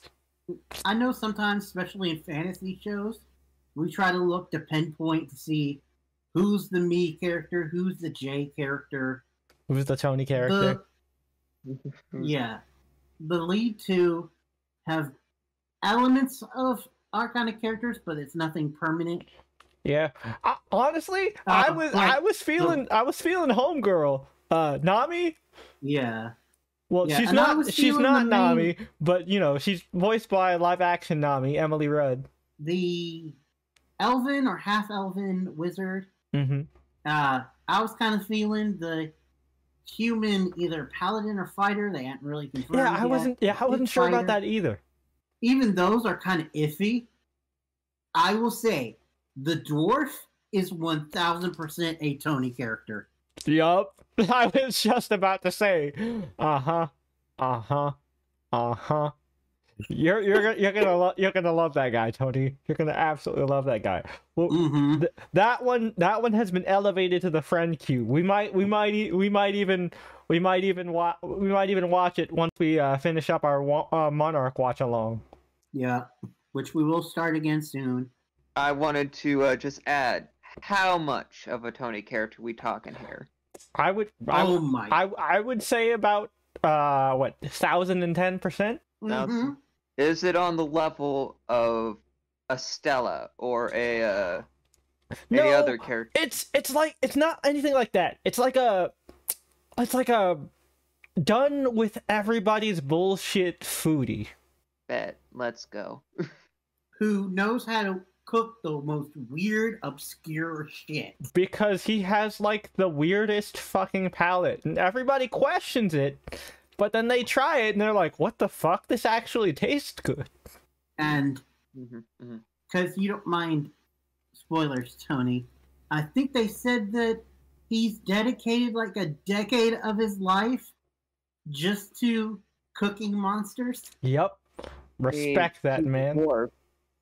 He's a dwarf, so if he wants to like dedicate his life to just cooking epic things, respect. the shout, Nothing but- Oh, out yeah. shout out to a campaign that's coming up i'm going to be dedicating my life to fucking monsters But uh anyway, the last thing that I wanted to point out in my screen time was just uh I had seen him here and there on TikTok and on YouTube Shorts, but finally checked his music out. hmm Um, Connor Price, oh i've Have I, heard have about I've him? listened to connor price at least on tiktok his music is really good. oh yeah the snippets i've heard are pretty He's- awesome Yeah, he's a rapper, and one of his songs, "Spinning," he has the lyrics. I actually, I think I'm- I did an open verse challenge to one of his sh- things. Uh, I think it was like "I'm Oh, wow. fine" or something like that. Yeah, yeah. in his in his song "Spinning," he does the line, "I make paper like I'm Dunder Mifflin." he does a lot. He does. He also does a lot of like um mental health positivity rap, which you know appreciate that. Yeah, like also amp your stuff. Mm-hmm. myself up. Mm-hmm. Uh, like a song called Straight A's, where it's just about like uh, Anxiety. well, no, this one is about being cool, but also following the rules. Ah. And I pointed this song out because uh, one line in particular that I liked got the juice, and I made a brand off of it like a Minute Maid. Nice, nice. That was that's a solid bar. Anyway, that's that's my list. I will be right back. All right, so I'll go next because I'm actually very much in the similar vein to Brian. Uh, some of the stuff I checked out, I watched uh, quite a few video essays uh, in the past week. One of them was the final part of Quinton Review's epic saga of the Nickelodeon sitcom universe. The uh, what six hour finale to the Sam and Cat part of the saga, the decline of Sam and Cat. This this was an endeavor. Like this man put in work. Like I watched this shit at 1.5 speed, but like I was engrossed the entire time. I did not I did not take breaks. I didn't go back and watch other things. I had this on the whole time. And one of the one of the big things that connects to something else uh, that I have on screen time is uh, towards the end of it, uh, he you know stops with the jokes and the funnies, and he talks about he addresses the elephant in the room uh, with Sam and Cat, which of course, if you're familiar with a lot of the uh, behind the scenes drama with Sam and Cat, you know, the show was going on when Jennette's mother passed away. And so Quinton, of course, he was like, he talks about it and he was like, I didn't know if I was gonna talk about this because, you know, part of me was like, this isn't my story to tell. But all, but then eventually I decided my platform is pretty huge and I feel like I would be doing Jennette a disservice without uh without like giving it some time and showing that it is important to talk about these kind of things. So essentially he addresses like the decline of Sam and Cat because of, you know, Ariana's growing music career and of course the ever growing stress that Jennette was going through with, you know, her mother basically being at the end of her life due to uh, due to a cancer relapse. And then he read excerpts from her book like kind of detailing it from Jennette herself including some snippets from the audiobook from her uh, autobiography. Uh, I'm glad my mom died. And my god this shit is heavy. So there was a reason I didn't buy the audiobook when it first came out. And that was because I was in a really big depression rut. And I knew I couldn't handle it if I had listened to it then. But after watching this video, I I got up the courage. I had 3 more credits left from my year subscription to Audible and I got I'm Oh. glad my mom died and my god, this book is amazing. Jennette as a writer is phenomenal because what she does is she it's an autobiography but it's told from this first person omniscient perspective where it feels more like Jennette telling a story it almost feels like you know how in shows like everybody hates Chris and like shit like that where you're where they're like the semi autobiographical shows and you have like Yeah. the, the moments where the uh, the actual actor like talks like talks to the camera and gets like serious for a second that's the entirety of this book i only just started it i'm like two chapters in and already Oh. i'm like god damn this poor girl because it ta- it talk Mhm. uh, the first couple chapters talk about her relationship with religion. Uh, she's ex Mormon, or uh, ex uh, yeah, well ex Mormon. You know, uh, G- uh, Church of Jesus Christ Latter Day Saints. Um, Mm. t- talks about how you know religion was a personal comfort for her because when her mom uh, was first going through cancer they went to church a lot and church was the one time a week where she could uh, where her and her brothers could actually be somewhere away from their house, which was like uh, her mom was an extreme hoarder because she was constantly paranoid about missing moments. So she would hold on to all these things. So their their house was literally filled to the brim with trash to the point where Jennette her brothers and her grandparents had to sleep in mats in the hallway in uh, gym mats in the hallway because there was no room to get into their actual bedrooms. Like yo this is horrifying but so gripping. Like the storytelling is amazing, and Jennette mm-hmm. is the one who reads the audiobook herself. And there are genuine moments in it where she breaks when reading, and it's just like, my god, yo. Yeah. Like, um, it's I haven't, wild. I haven't read it or listened to the audio I've heard interviews. Yeah, like I had only heard interviews up to this point as well. That's why I was like, I definitely want to hear it. But then after watching the video, I was like, I gotta get it now. I have to get it to support her. She deserves this. I have a credit, so fuck it. Like, she was talking with uh, Drew Barrymore, right? Yeah. Jada. Oh yeah, Jada well, and Drew Barrymore. Yeah. Mm-hmm. And in the Jada one, she goes into like what happened when her mom found out that she got her first tattoo. Yep, her first tattoo. Uh, uh, uh like I in the video, I saw an expert excerpt about her like mourning the fact that she got her first period because like her mother had this whole thing about like constantly infantilizing her, keeping her as a little girl. And so when the person on set for when the onset like teacher from iCarly like you know got her a pad and was like congratulations Jennette she became a woman like outside she smiled and was like thank you but inside she was screaming and she was like oh no I failed my mother what am I gonna do you know I've let her down you know I I, mm-hmm. I, I, mm-hmm. can't make her happy anymore and like mm-hmm. you know I I'm, I was nowhere near this level, but I definitely resonate with a lot of that because my mom is one of the most important people in my life. And it was, oh my God, just to hear that a mother was capable of some of the shit that she did really put a lot of the things that, like, you know, I have problems with in my own life into really stark perspective. So I'm very thankful for that.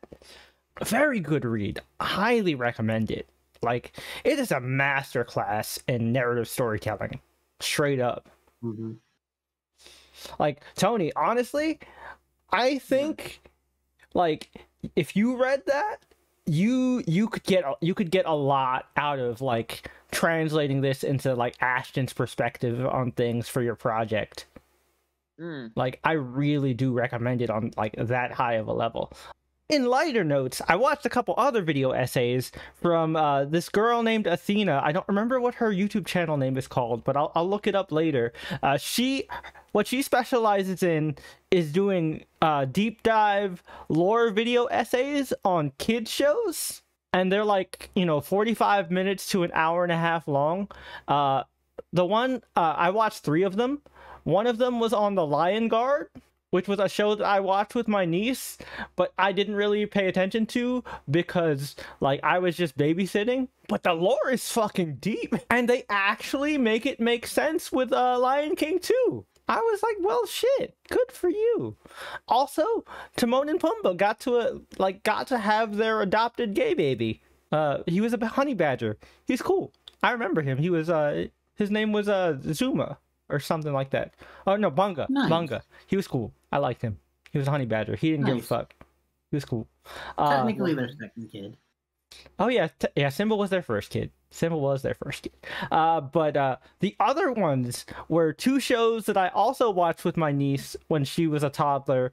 Uh, but I actually paid attention to these two, and I forgot how intense the lore is for both of them and the spin-off show goes way too hard for a kids show the shows i'm referring to are Sofia the first and its spin-off mm. elena of avalor Sofia the first is really fucking interesting actually because like it ties disney lore together because Sofia is in the pilot is gifted this amulet that like helps her with a problem slash moral lesson of the week and the amulet has amulet has several different powers and one of them is she can summon a Disney princess to give her advice on her particular problem, and it heavily hints at the fact that like her kingdom is set at a far later time than the rest of the Disney princesses because it's heavily implied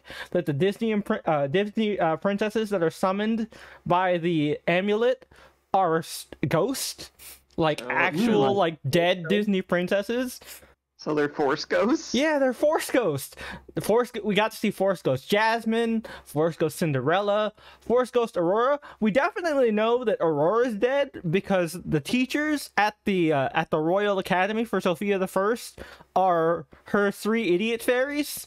Oh no, not them. Yep. Them like them in the flesh. They fuck up a lot. The fourth fairy that like that got kicked out of the group became a villain. It's a whole thing.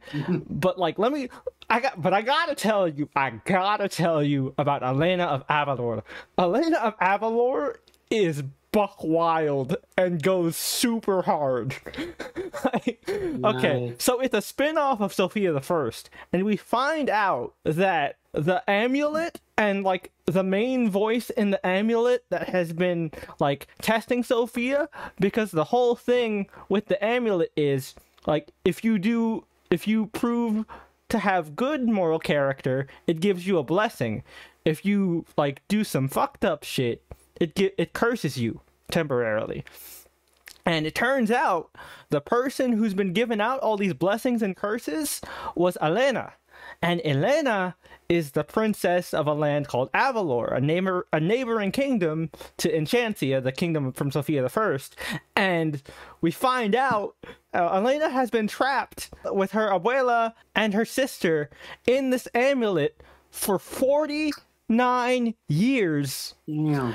And her Why? and her parents were murdered right in front of her by the evil uh, court witch, and she was assisted by her cousin Esteban. Fuck Esteban. Uh, Jesus! he What is happening he's here? he's the fucking Mhm. worst, and it, it it gets more intense because like so. They get, so Sofia helps her out in the backdoor pilot, and then it leads into like her whole adventures. And so she so she is like 19 right? She's 19 however 49 years have passed. So like the guy that she was like you know about to marry is like in his mid 50s had a whole ass other life. And then Hmm. basically a steve rogers happens where his grandson who is now assigned to be her knight protector like his grandfather was ends up like striking up a thing. And it's like you like it because they're technically the same age but it's also a little weird all things considered. And then you, and then you find out just all about all these like buck wild magic powers and shit and like the the whole lore between about Disney dark witches and like where they draw their power from. It's wild, man. Uh, Jenna Ortega was the little sister, Isa, Isabella, and she was amazing. She was like this tomboy, adventurous type of princess, not adorkable at all. She was just a badass. Made very Nice. dumb decisions. Um, the uh, the lead voice in that that plays Elena is uh, Aimee Carrero, oh, which uh, Tony, you'd recognize her. Opal slash Denise from Critical Role. Oh my god. dude, dude, Elena, Elena is Elena is a bad bitch, yo. Elena's a bad bitch. What is Also, also one of the coolest things because uh Avalor is heavily based on like a, a combination of various uh Mesoamerican uh like Latin cultures. Um Mhm. Mhm. uh like they have magical animals and shit, right? Elena's buddy, her main magical animal that's like her like a- Disney animal sidekick is this talking like jaguar eagle dude and he's awesome. He's like if Sebastian was actually a badass Oh, and not a pussy bitch. Although sometimes Or he can be a pussy bitch. Or- But, but yeah, or a crab. But this Jaguar man was awesome. He ended up having a family. It was great. You got to see so much character development. Like I said, this show goes way too hard for a fucking Playhouse Disney show. What, What- the what- hell? No. insanity! What what insanity? like, like, dude, I watched this with my niece, and I remember all of this, but like, it's been like ten years, so I forgot it. And then when I watched the video, I was like, "Oh my god, that did happen! What the fuck?" this show went so hard. mhm. Yo, for real, we gotta watch this show. I'm telling you. like, I know it'll be, feel a little weird for a bunch of grown ass men to watch this Disney princess kid show, but trust me, this shit goes hard. You will get invested. We're definitely adding it to the queue now that it's been reintroduced to my memory. Uh, because we're gonna have a blast with that show. I can feel it. We're not you gonna feel it. We're not we're not gonna cover it on the podcast because people are gonna look at us weird as a bunch of grown men talking about a Disney princess Playhouse Disney show. But god damn it, we're watching a we're we're gonna be a bunch of grown men watching a Disney princess Playhouse Disney show. Cause it goes In hard. one of our older versions, didn't we try to cover a TV show once where it was just you and me, Jay? Yeah. Chris? I mean, Jay? Yeah, I think we yeah. I, I I honestly think I pitched Elena of Avalor back then, and uh, yeah. Oh man, I I have a lot of fond memories with that show because that was one of the first shows that I like actually I actively watched with my niece. It was that one and Andi Mack, which I call Baby's First Degrassi. People still talk about. Yeah, and uh, homeboy Angel, what's his face, is Billy. Yep. Yeah, And uh Homegirl just got done doing the Doogie Howser remake. yeah, yeah. But uh, yeah. They remade Doogie Howser. Yeah, yeah, she, yeah, she, she, she's a, she's a girl genius doctor, but But she's not Doogie. yeah, She's Okay. uh she is just a girl genius doctor. So it's kind of like taking place in the same world Yeah, as Doogie Howser. Yeah, yeah, uh, yeah. They, okay. they, they, Yeah. ev- I think they even bring in uh NPH. Epic. Absolutely epic. it's called uh like some long Hawaiian name. Yep, because she, yeah, because Howser. she's like a, she's like a cousin twice removed or something like that, like uh, married into the Howser family, something like that. Whatever, but uh, So it's just like weird, irregular, just goofy family. yeah, yeah. mhm. Yeah. But yeah, seriously though, like dead ass, Elena of Avalor is on the queue. Nice. It's on Disney Right. Plus. We're watching it. Uh, Did you see anything else? no, that was it. Uh, like I already mentioned, I'm glad my mom died, so that was it. So Tony, uh, what do you got? I'm sorry for leading us down this long rabbit hole, but I, I needed to talk about Elena of Avalor. We also went down the Once Upon a Time rabbit hole, so Yeah, can't really complain. yeah, it's fair. Honestly, keep all this in, Brian. You don't need to edit any of that. No. That was No. that was perfect, unhinged gold. I'm probably gonna just like cut out like some of the ums and Gotcha, gotcha. Yeah. silence. Mhm. That's just how. But as for me, I've been catching a lot of uh anime that just came out recently myself. Mm-hmm. Nice. Excellent recommendations from uh some new friends of ours that Jay and I have made. Yep, in the worst gen reading club Discord. Shout out to Katie and Chelsea. Uh, a couple of them introduced me to a few romance anime that I just absolutely love.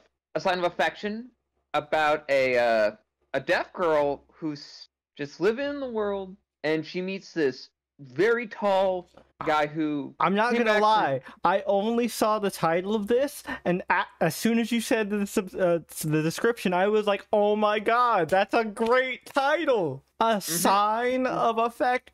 Oh, that's Mm-hmm. good. Jay watch that show. Oh, I plan on You it. need to watch. I plan Dude. on it. All every everybody everybody on Shoujo Twitter is like, you gotta watch a sign of affection. And I am telling you, I absolutely love our leading uh, lady and leading guy. Love these two. Nice, love them to death.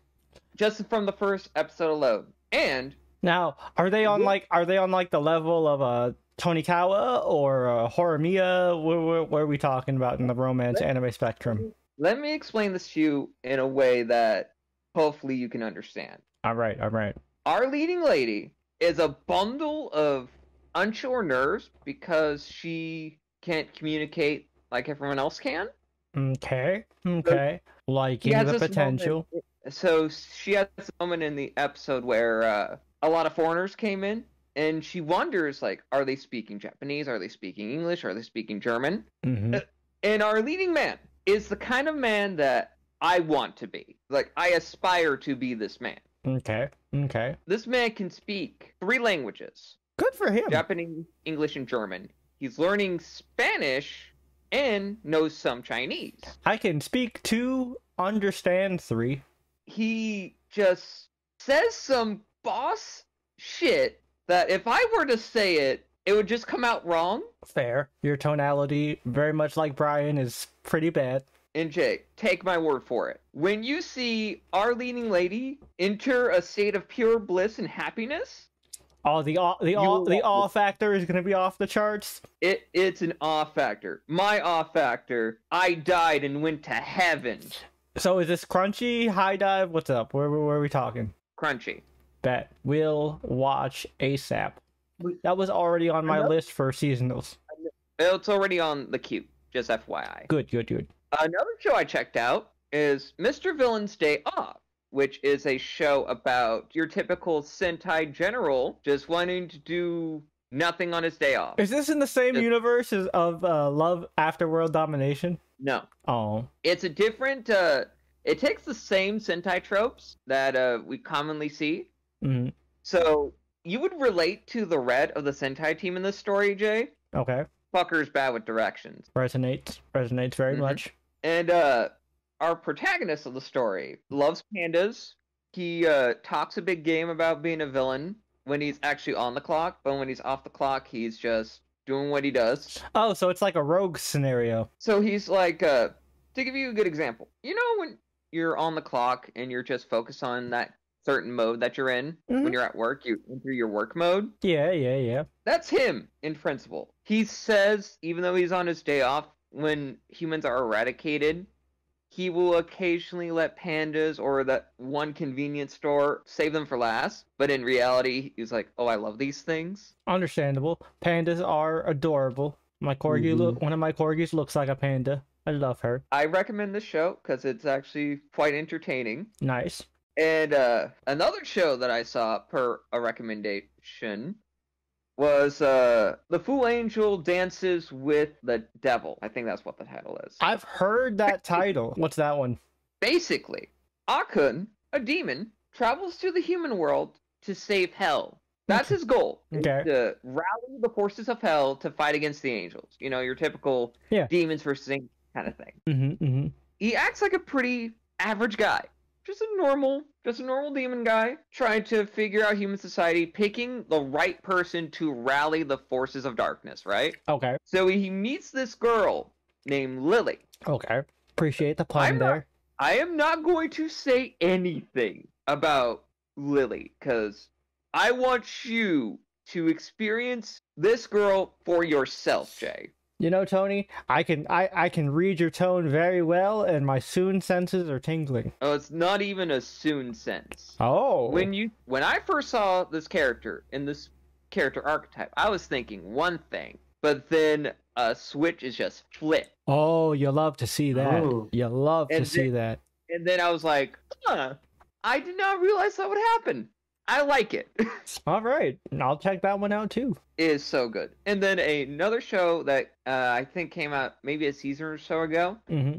My love story with Yamada-kun at level 999. This oh, show is oh, adorable. I've seen that one. I've seen that one. It was good. It was very good. This- Very comfy. this is an adorable- It is a very comfy show. I like it. And I'm just at this point where I am in just romance anime overload at the moment. And I am just so amused and happy.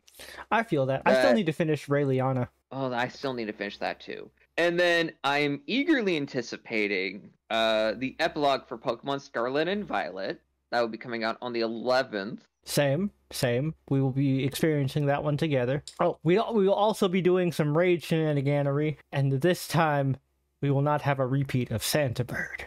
Oh no, Damn. Santa Bird. Damn you, robot Santa. For the folks at home, the raid dens of Scarlet and Violet are entertaining when you play with friends. When special events happen, when you have a very difficult raid, and you get knocked in the face with a fish every single time by this stupid toy bird every single time. And then when you finally get a third ally, the motherfucker shows up fucking drunk.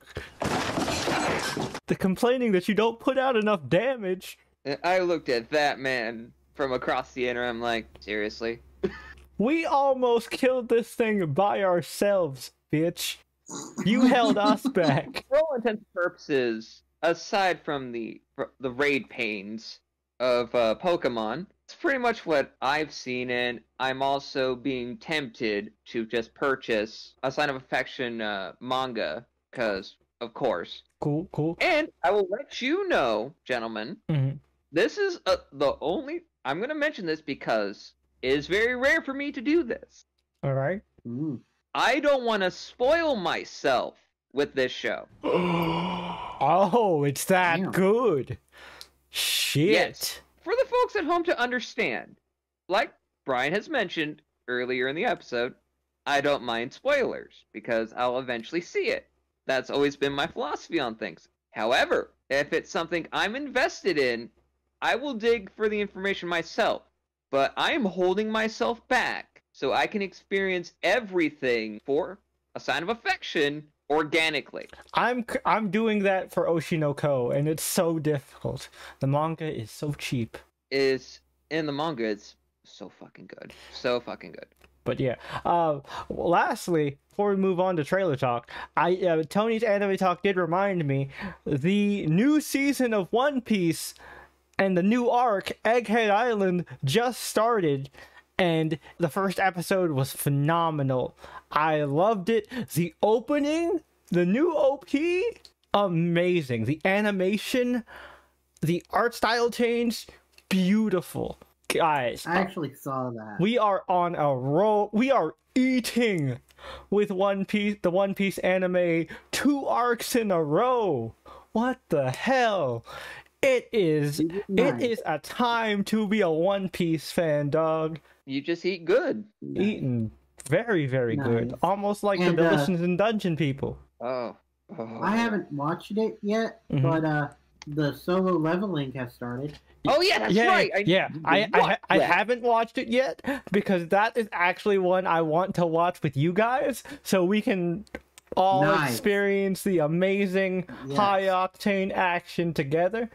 Uh, so I'm hol- I was holding back on that one, but yeah, super excited. You and I, Jay, need to watch that shit. Oh yeah, no, we're no. I no. want to watch Oh no! All, all three of us are gonna watch Solo Leveling. You and I are definitely gonna watch that Sign of Affection one together, though. Probably tomorrow, like in between raid stuff. Anyway, I'm going to give. I want you to experience that first episode with me. mhm. Cause I need an excuse to watch the first episode for another time. Speaking of a sign of affection, it comes out on Saturdays. okay, just cool. to let you know. Okay, cool. We can we can set something up. But yeah, uh, with all that screen time out of the way, future Brian, you don't need to cut any of this aside from the pauses. But uh, Mhm. we are now Mhm. moving on to trailer talk.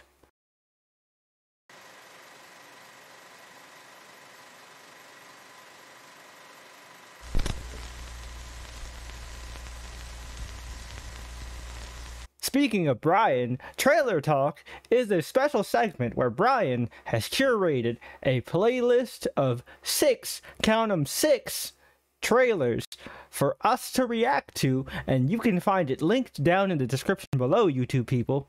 Audio people, you're kind of shit out of luck, but Brian will tell you what uh, trailers we'll be reacting to so you can look them up yourself. So, Brian, what trailers we'll be reacting to tonight? Well, we got an interesting bunch. We got two movies, four TV shows. All of them are kind of unusual. Starting off, we have You know, it's not unusual to love that- anyone. that I'm really looking forward to, and uh, answers the tease that I said earlier. Mm-hmm. Mm. It's a movie called Lisa Frankenstein. Ooh. Oh, okay, okay. Nice call. Okay, nice call. Nice callback. All right, Brian, you're mm-hmm. learning. You're podding now. You're podding. Look at that season season three improvement. This is about a young woman who falls in love with her crush, but then he dies. So, Oh, so she does a little romance, neck romance. but it says that they have to to find their way through love, happiness, and finding limbs. The uh, like uh, just that description gives me warm bodies vibes, and we already talked about how much we all loved warm bodies. Yep. Key things about this: it's uh, written by Diablo Cody. Oh, Oh, cool. cool. It's directed by first-time director Zelda Williams. What? Oh, Yes. Oh shit! Good for Zelda. I'm sure your dad will be lead- proud. The lead is Kathryn Newton. from Oh. Detective Pikachu, she's great. I love her. She, she, she And She's a Psyduck enjoyer, like our boy here. mm-hmm, mm-hmm. and the creature Cole Sprouse. Nice. He's good at playing offbeat weirdos. Mm-hmm. Nice. Certified epic. But Thank you, Brian. I'm excited. but then then a movie that's coming to Hulu very soon as of recording. All right. Uh, called Self Reliance. It's written, I believe, written, directed, and starring Jake Johnson, Okay. Peter B. Parker himself. All right. nice. Nice. And basically, he plays a guy that's down on his luck, and then he gets approached by a rich person, I think played by Andy Samberg. I could be wrong. Okay.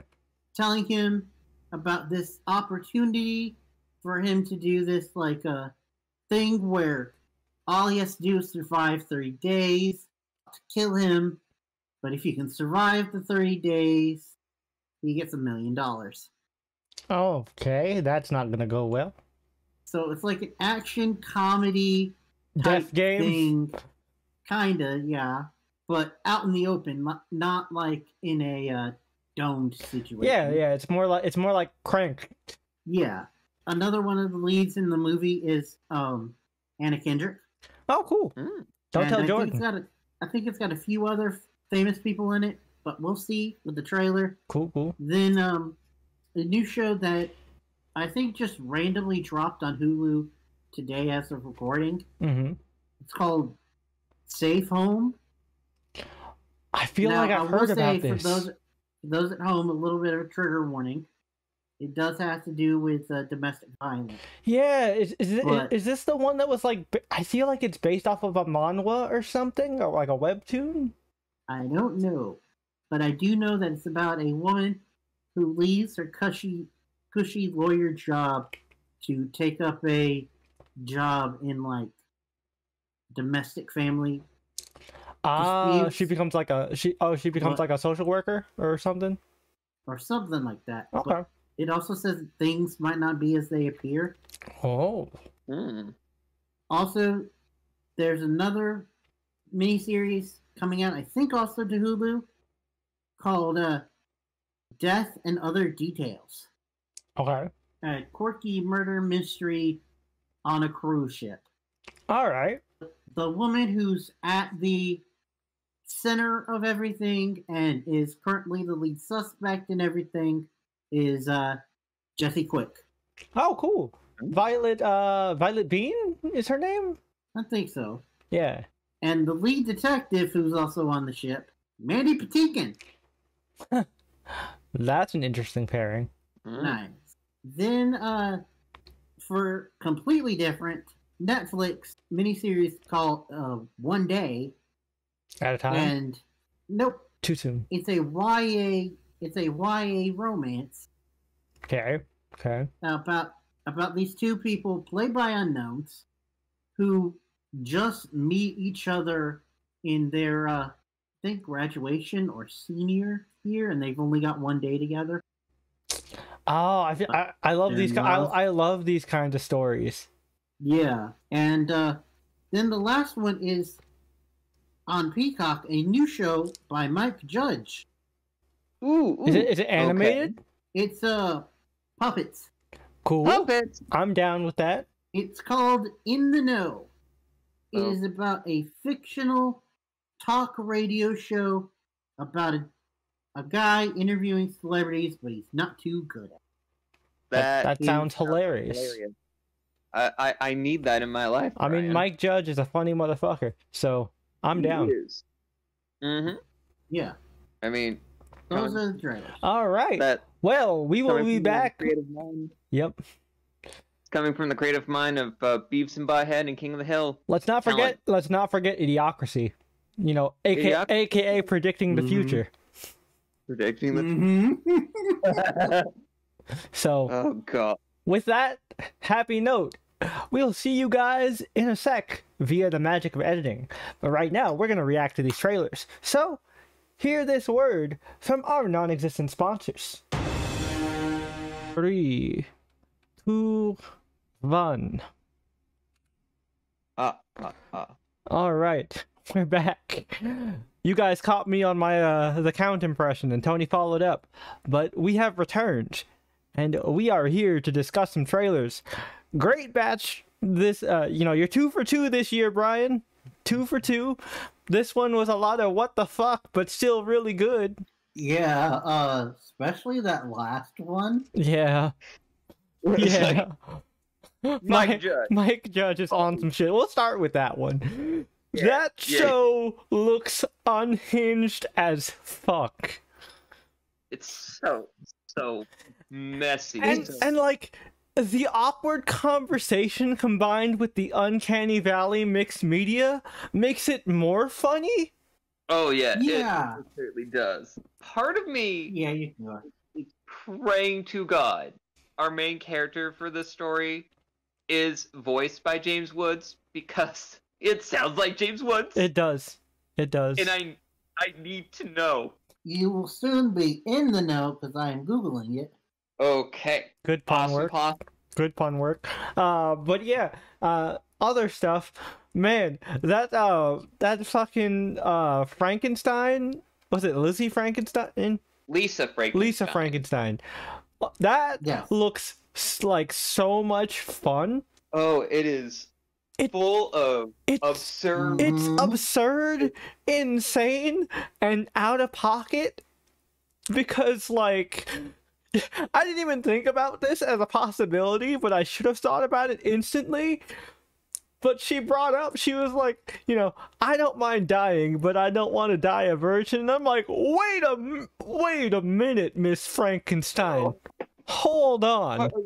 Hold on. Are you implying what I think you are implying, madam? It, you made the zombie choke, like spit up what he was doing, man. Yeah, Pog. Mhm. right? And, and then they're also doing like it kind of gives me totally killer vibes, not only because it's set in the Kinda, 80s, yeah. not only because it's set in the 80s, but also these murders are just so campy. Oh yeah, it's Mhm. shit. I love it. I am here. Oh, yeah. this- Uh, you know, heads up, Um. peek behind the curtain, folks. This one has been added to the schedule. You'll be hearing that a lot with this batch. Mhm.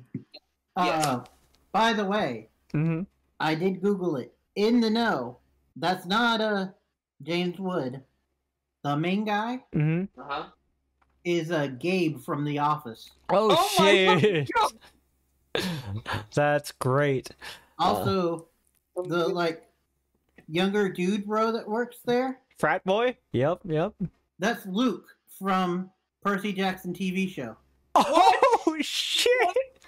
but he's a child. Yo, what the fuck? That's crazy. You know, Charlie Bushnell. you know, I've like it's so weird. You know, we always hear adults voicing children and we don't bat an eye, but for some reason, a child voicing an adult is Um, so wild. He's 19 Oh, IRL. Okay, so he is college age. He he looks mad young. I thought he was like a freshman in high school. All ass freshman in high school. I've seen some pretty tall freshies. Anyways, moving on. We saw Safe Home. That's the only one that's not going on the schedule Mhm. because it looks Mhm. great and it looks to be very well acted. But good lord, does this look heavy as fuck? hmm Like I said, um, even just to talk about it, I said trigger warning Mm-hmm. because it definitely does deal with DV and uh, people accidentally causing DV. Cause like y'all, uh, you know, j- you guys don't get to see us our actual reactions as they happen live because we don't want to get bonked by YouTube. But it's a very common thing for us to like talk our thoughts while watching the trailer. This was the one trailer where we were all just dead silent because we were Mhm. all kind of uncomfy. Well, then we started talking about unrelated stuff like Sweet Vicious because the lead is in that. Yep, wonderful show. Canceled too soon. Um, hmm But uh But- going back to stuff that is on the schedule, for sure, uh fucking self-reliance looks like so much fun. It might not be on the queue, but it will definitely be on we watch along. Oh yeah, it's gonna be a screen time. It's gonna be a screen time. You will hear a uh, united front hmm on that one. Yeah, it was hmm entertaining to say the least. Yep. Oh Uh, yeah. Uh, Then one day, that looked to be one day looks amazing. I eat this. Co- Look, I am a whore for romance. Same. There is a there is a reason I I put romance very high on my uh on my point list for uh plot beats for our upcoming D&D game. I'm a whore for romance. I Mhm. love this shit. I eat it up like Mhm. it's candy. And this this is a very unique and interesting romance premise. I've actually heard about this before. Yeah, this looks like something that the BookTok girlies would gobble up too. Mm-hmm. Yep, yep, yep. So I just googled it. It looks like it looks like what this is is it not what I initially thought it was. Okay. Because uh, Colleen Hoover has a book that's similar. I think it's Colleen Hoover. Yeah, no, Colleen Hoover's Where- pretty popular. There's this couple where uh, they're not really a couple, but they meet once once a year. It's called like eight years. hmm I thought that that's what this was. This no. one, this one is that What on this- steroids. It takes a, it's over twenty. Well, no. What it is, apparently, what it is, is that this couple meets in '98. I think they No, said. they said the eighties. They said the eighties. So oh, probably like eighty-eight. well, um, but anyway, they meet on graduation, and we follow their lives, but we, the audience, are only seeing this one day a year Man, that would be crazy. 20 years. That would be crazy. That would be that would be like me seeing the girl that ki- decided to kiss me on graduation once every year Well- for twenty. Well, it it's not it's not they agree to see each other every day. They just run into It's each other. We we tune into their lives during that day. Oh, it gotcha. seems like, but I could be wrong. gotcha, gotcha. It would be really weird though if that day was February fourth. Right? Oh man. Another thing that we're gonna cover. yeah. But uh, anyway, also uh, death and other details. Mm. That looks Mhm. super interesting. Yeah, I am intrigued. First off, murder. Violet Bean looking Mhm. like a whole snack. delicious. that- Full course. meal. That's Who crazy. knew? Who knew she'd be good as a blonde? Yeah, right. I mean, she she does she doesn't need the she doesn't need the speed force to run straight into my heart. Oh man, I'm still upset with what they did with her. same same. Uh, but yeah, Do you Uh, know what they did with her? Just real quick. I know, I I know the I know the I know the plot beats, and I I, I know I know that she just got kind killed off screen. she got killed off off screen during Crisis. They didn't bring it up again until the series finale, where the Wells character is going out to uh, find her and bring her back. Ah, gotcha. Harry, Might be. because Harry was her dad, yeah. Yeah. Okay. Yeah. But anyways, uh, it looks really interesting. Uh, like she looks like a super detective who's teamed up with an even more super detective. Well, she looks like uh, she is just like a uh, vigilante thief. Yeah, a vigilante thief, like hobbyist detective. She she, she gives me she gives me very much like uh like almost live action Nami vibes. hmm So yeah. Also, because I know it's in the same vein as Nami, Felicia Hardy. Oh yeah. If Felicia Hardy didn't wear a sexy cat suit while she was doing it. Yep, that's why I said Felicia Hardy and not Black Cat. Mhm. Anyway, and then Mandy Patinkin. He Nice to see him again. I wasn't expecting him to be so good in this role. He gave me like Oh yeah. Pierce Brosnan vibes. Like if Pierce Brosnan played Sherlock Holmes. Well, Or like Inspector that- Clouseau. Well, for those that might not know, this is not his first time playing a savant uh, murder detective. Oh. Uh, he was in the early season or seasons of Criminal Minds Oh, cool. as Gideon. Nice. This is different than his character on Criminal Minds because his character on Criminal Minds was very serious. Yeah. This one this character looks like a total troll and I'm here for it. Yeah. Yep. But you knew that already, didn't you? Oh yeah. Yeah. I but it's But more it's it, fun but to it's more fun it's it yeah, it's more fun to watch you solve it yourself. You Yep. I love and it that. makes me wonder. And it makes me wonder.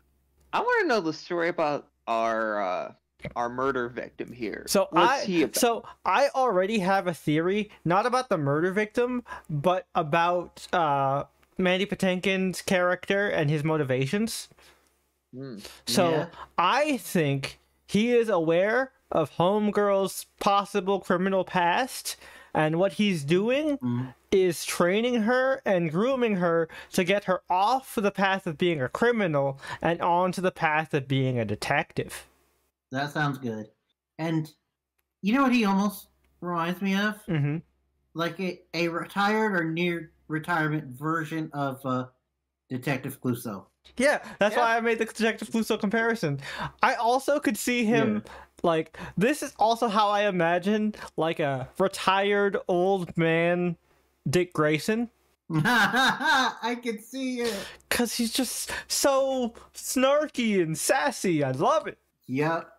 Also, uh, on the list, is there anything else that we're missing? I Nope. nope. I feel like that was everything. That's it. All right. So, it's time for us to travel to the Pokemon Resort. Uh, there is no point in like doing a spoiler-free section because there are four episodes. It's great. It's comfy. If you're a Pokemon fan, you're gonna love it. That's the end of spoiler-free. And it's a quick watch. Each Su- episode is like less than 20 minutes. Yeah, the first one was 20 minutes. Uh, the first one was and 20 minutes, and Four. and yeah, the first one was 20 minutes, and the like the others were like 15 apiece. So yeah. Yeah. Um. Fantastic.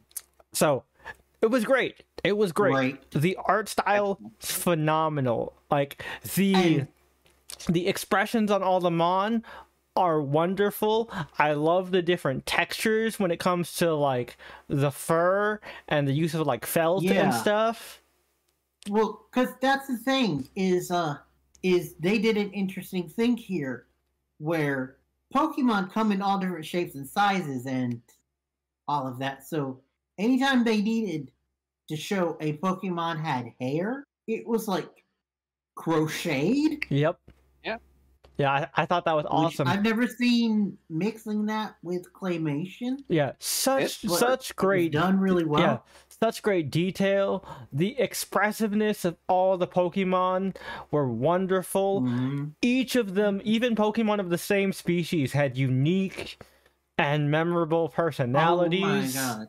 The Pikachu episode. The Pikachu Oh episode God. was phenomenal. I'm not even a It was- Pikachu guy for real. I'm not a Pikachu guy like that. I'm Eevee till I die, but like that Pikachu episode was so wholesome. The little picture with Pikachu sleeping with Psyduck. Oh my god. It was adorable. Mhm. Also, one thing I have to say, as a Psyduck enjoyer, I have never been so happy to see the main man just vibing. Oh, my my my, fa- my favorite thing, just my favorite constant scene of Psyduck is Psyduck riding around in the scooter basket. Mm-hmm. So fucking cute. Oh my Yep. goodness. This show made us appreciate the elemental monkeys. Which, you know, for those of you who don't know me and Tony, we really have developed a distaste for uh, the Simmies Mhm. and the Sages. Yeah, Simmy's Say, But- Horror, and Seer. Seer, yeah. The only the only one I like is the one Cilan has because Cilan is cool. But I like all of these guys because they're all just rambunctious little trolls. And they're fun. Yeah. And they're attached that's they're kinda attached to uh Tyler, who is just a cool bro. He- Yeah. he's kind of like he's kind of like the Pokemon verse of like that like dude bro golden retriever. Yeah, he has golden retriever energy. He also gives me like vibes of Keanu Reeves, but like uh like Bill and Ted Keanu Reeves. Oh hell yeah, agreed. also, masterful casting with this. Oh yeah. Josh Keaton as Yeah, Josh Keaton surprising us as Tyler. Like we were we had our minds blown with that one. Uh the hotel manager was wonderful. Phenomenal. uh Loved her. Uh the sister, the sister from uh, Everybody Hates Chris. I forgot her name. yeah, now. I forgot the character's She- name. She she Yep. She was great. I loved she her. does really good, I- good as like the cool, the cool coworker. Yeah, the cool who's, like- coworker and uh, like semi mentor, and I and she also gets extra points for me because she has one of my absolute favorite water starters, the Kip. Oh, love the Kip. Me, me, But, Yeah, and I she love- has to teach. mhm. She has to teach the mudkip. I don't know how to say this yeah. Don't don't overwater. any overwater. other way. Yeah, don't overwater. And also, don't blow all your load at once. Yep. Pause. Pause there, Brian. Pause. It's Uh, ju- it's just why I a had the it's just a hesitation saying baby. It. It's just a baby, Brian. It's not even a Well, Marshtomp yet. Calm down. But anyway, and then uh, Rila, Re, what is her name? I'm probably gonna get it wrong. Sorry, Ria Fukushima Yep. as Haru. She was great. The, the relatable but super ball of stress. It's Haru. it's so weird. Like she has such fucking range. I still can't believe that's the same actress. as as the female. Kimiko. Kimiko. What the f- No.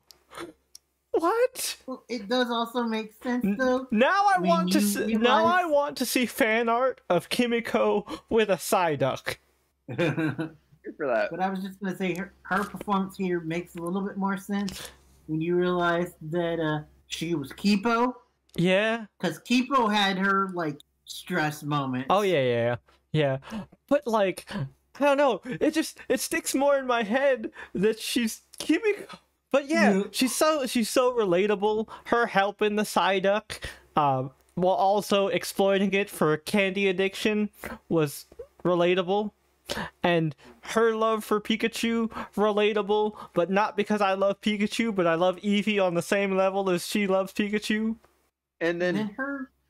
all all of the Pokemon, they are just mhm. Yep. equal levels of adorableness. Yep. Ferret, adorable. I, yeah, some Dragon Oh my god, yeah. Big. Dragonite was so fucking Oh cute. He's Yeah. such a goober. I love him.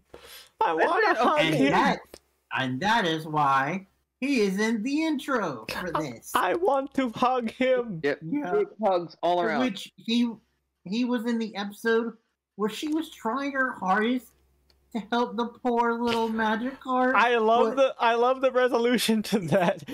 He evolves into the Gyarados. It's like, well, we got your floaty. I I guess you don't need it. Roar. Uh, and swims it's, up it's, the waterfall. It still throws me off. I know Gyarados is a flying type, but it still throws me off that those fuckers actually fly. and then it swims up Yep. a waterfall. It's part yeah, it's part of the legend. Uh but yeah, Garrett, yeah, that that episode was awesome. But seriously, the Pikachu episode was a standout. Them doing Mhm. like floaty sleds, loved that. Mhm. And just all the bonding with the Pikachu. And then th- the part that got me, the part that actually made me like audibly, oh, was at the end where like the Pikachu who's been struggling to find its voice the whole episode as they're waving goodbye from the port and the ship is pulling out, you just hear P P P Pika Pika and I'm like, oh, Mhm. oh, oh. Goodbye. I I usually don't really like you like that, Yellow Mickey. Only Ash's Pikachu is cool to me. But hmm you were Oh, but- you were great. and not just not just any Pikachu or Ash's Pikachu. You cannot wait to see the captain. I am excited for the captain. He looks like a badass. And any Pikachu with as excellent taste in hats as that man has my respect instantly. Speaking about Pikachu's, as they were saying, Tony was saying this, the episode where he had the multiple Pikachu's, they all look different. Oh, Yeah. and and something that super Pokemon nerds like me and Tony will appreciate, and I'm sure those of you out there that are super Pokemon nerds, they even display the Pikachu's sexual dimorphism of the heart-shaped tail. You can actually tell Mhm. which Pikachu's within that crowd are female. Yep. And if you and if you listen closely, those Pikachu also have a higher tone of speech. hmm So, like, Yeah. crazy attention to detail. And as somebody, as like, as two people who are lore whores for Pokemon, hmm hmm like, this was like crack. Yes, and Mhm. to see a, a a graveler just being upset spaghetti Yeah. that he had to leave. Honestly, a Pokemon concierge is what really started me and Tony creating our personal Pokemon personality head headcanon for all our Scarlet and Violet Mon. Yep. Oh, Nice. to be honest, I've always yeah, had lore. yeah, we were yeah we were already doing that. We were already doing that, but concierge definitely kicked it into overdrive. I mean, Yeah. we we had a big old conversation about our individual Swamperts. yeah, which by the way, that's another reason why like the Mudkip has a special place for me because recently we had a massive adventure with our Swampert, Power and Smiley respectively, and Smiley Nice. destroyed that fucking lamp. You go, Yes, Smiley. Nice. Epic. We, yes. What? Smiley was Jay's Swampert. Power was mine. Yeah. Power came from uh, Omo- Omega Ruby, actually. Yep. So And, he was my starter Nice. throughout my remake Hoenn adventure. and then I caught I caught I caught Smiley. I found I found her chilling in the coastal biome in in Violet. But yeah, so nice. so like so much love and detail was put into this thing. I want Like, more of this and i want more like this. I so a lot of pokemon fans uh with horizons in particular the new series have complained about the fact that like the new mainline series is no longer the you know gym challenge battle battle battle series that ash had but That- personally i think going in these different directions and like exploring different assets uh, and aspects of the world is gonna give the pokemon franchise much more longevity not that it needed more longevity but you know yeah. Like, could you imagine? Because they do the pageants and things. Could you imagine something that was like a, a like idol anime? don't with don't don't start would be with me brian don't You st- you you you activated neurons in this man's brain. Don't and that start. Neurons activating in my brain. Don't start with me, Brian, because I have always had this personal fantasy in my head where I was an idol in the Pokemon world with my with my with my Starmon, Aphrodite, the shiny Sylveon. Nice. But uh, anyway, back to the concierge though. Mhm. Even like the smaller details, like the whole Gengar and Snorlax. Yep, the day-night Yeah. cycle, the the different changes in music to reflect the day-night cycle. And Mm-hmm. Mm-hmm. and the the fact that we saw one Pokemon evolve.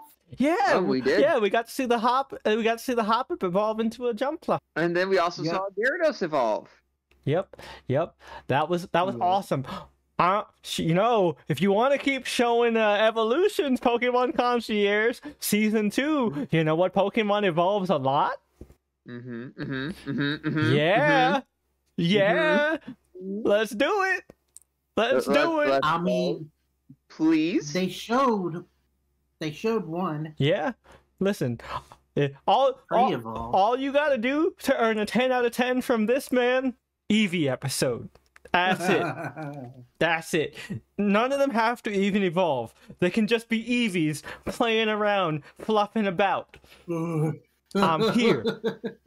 And all all you need to make this uh, disembodied voice happy is just more Psyduck. Yep. Yep. Uh, That's that's all I need. That's all I need. Good vibes and Psyduck. That's all I need. I'm just, and also just if you if you want to hear me squee, turn one of the Eevees into a Sylveon. Absolute Just- favorite Pokemon. also, Another thing, another Ah. thing that I would like to see personally, just another one of my favorite Pokemon in general. Let's get a Alolan Vulpix in here. A Alolan Vulpix, Alolan Vulpix. Let's go. one of the most beautiful regional variants ever. yeah, and yeah, just and uh, spicy with it. Give me one of the Convergent Mon. Give me. I want to see. Toad Wo- I no, I want to see. Toad I want to see Wug Trio. Wug Trio would be so Wug goofy Trio. and dumb. Well, trio. I, I, te- Toedscool. I tell you what I want to see mm-hmm. a little uh, crocheted uh, Scorbunny. I would love to see a Scorbunny. Also, also, we're on a beach. Why haven't we seen a Squirtle in sunglasses? I I am Ah, disappointed. We.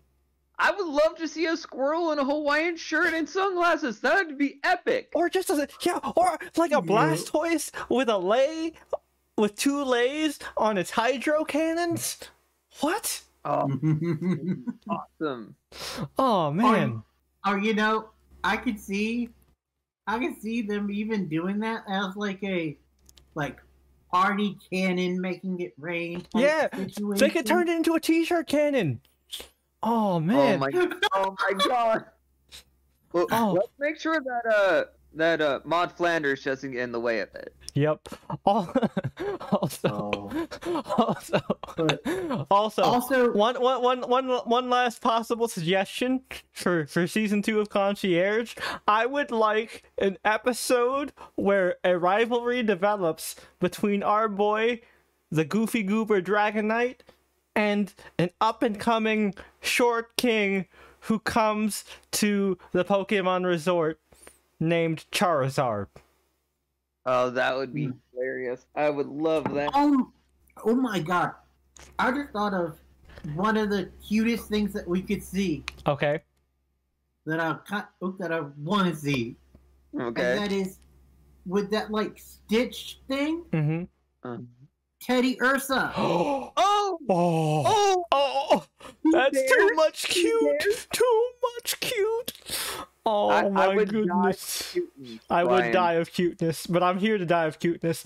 Uh, but yeah, so to expand a little bit on the Charizard Dragonite plot that just popped into my head, per- I've always loved the Dragonite Charizard rivalry that's like constantly in lore and reference in Dex entries, and I would I would Uh-huh. love to see just this Charizard constantly trying to prove itself, and everybody being like, "Oh, silly Charizard, you're not even a dragon."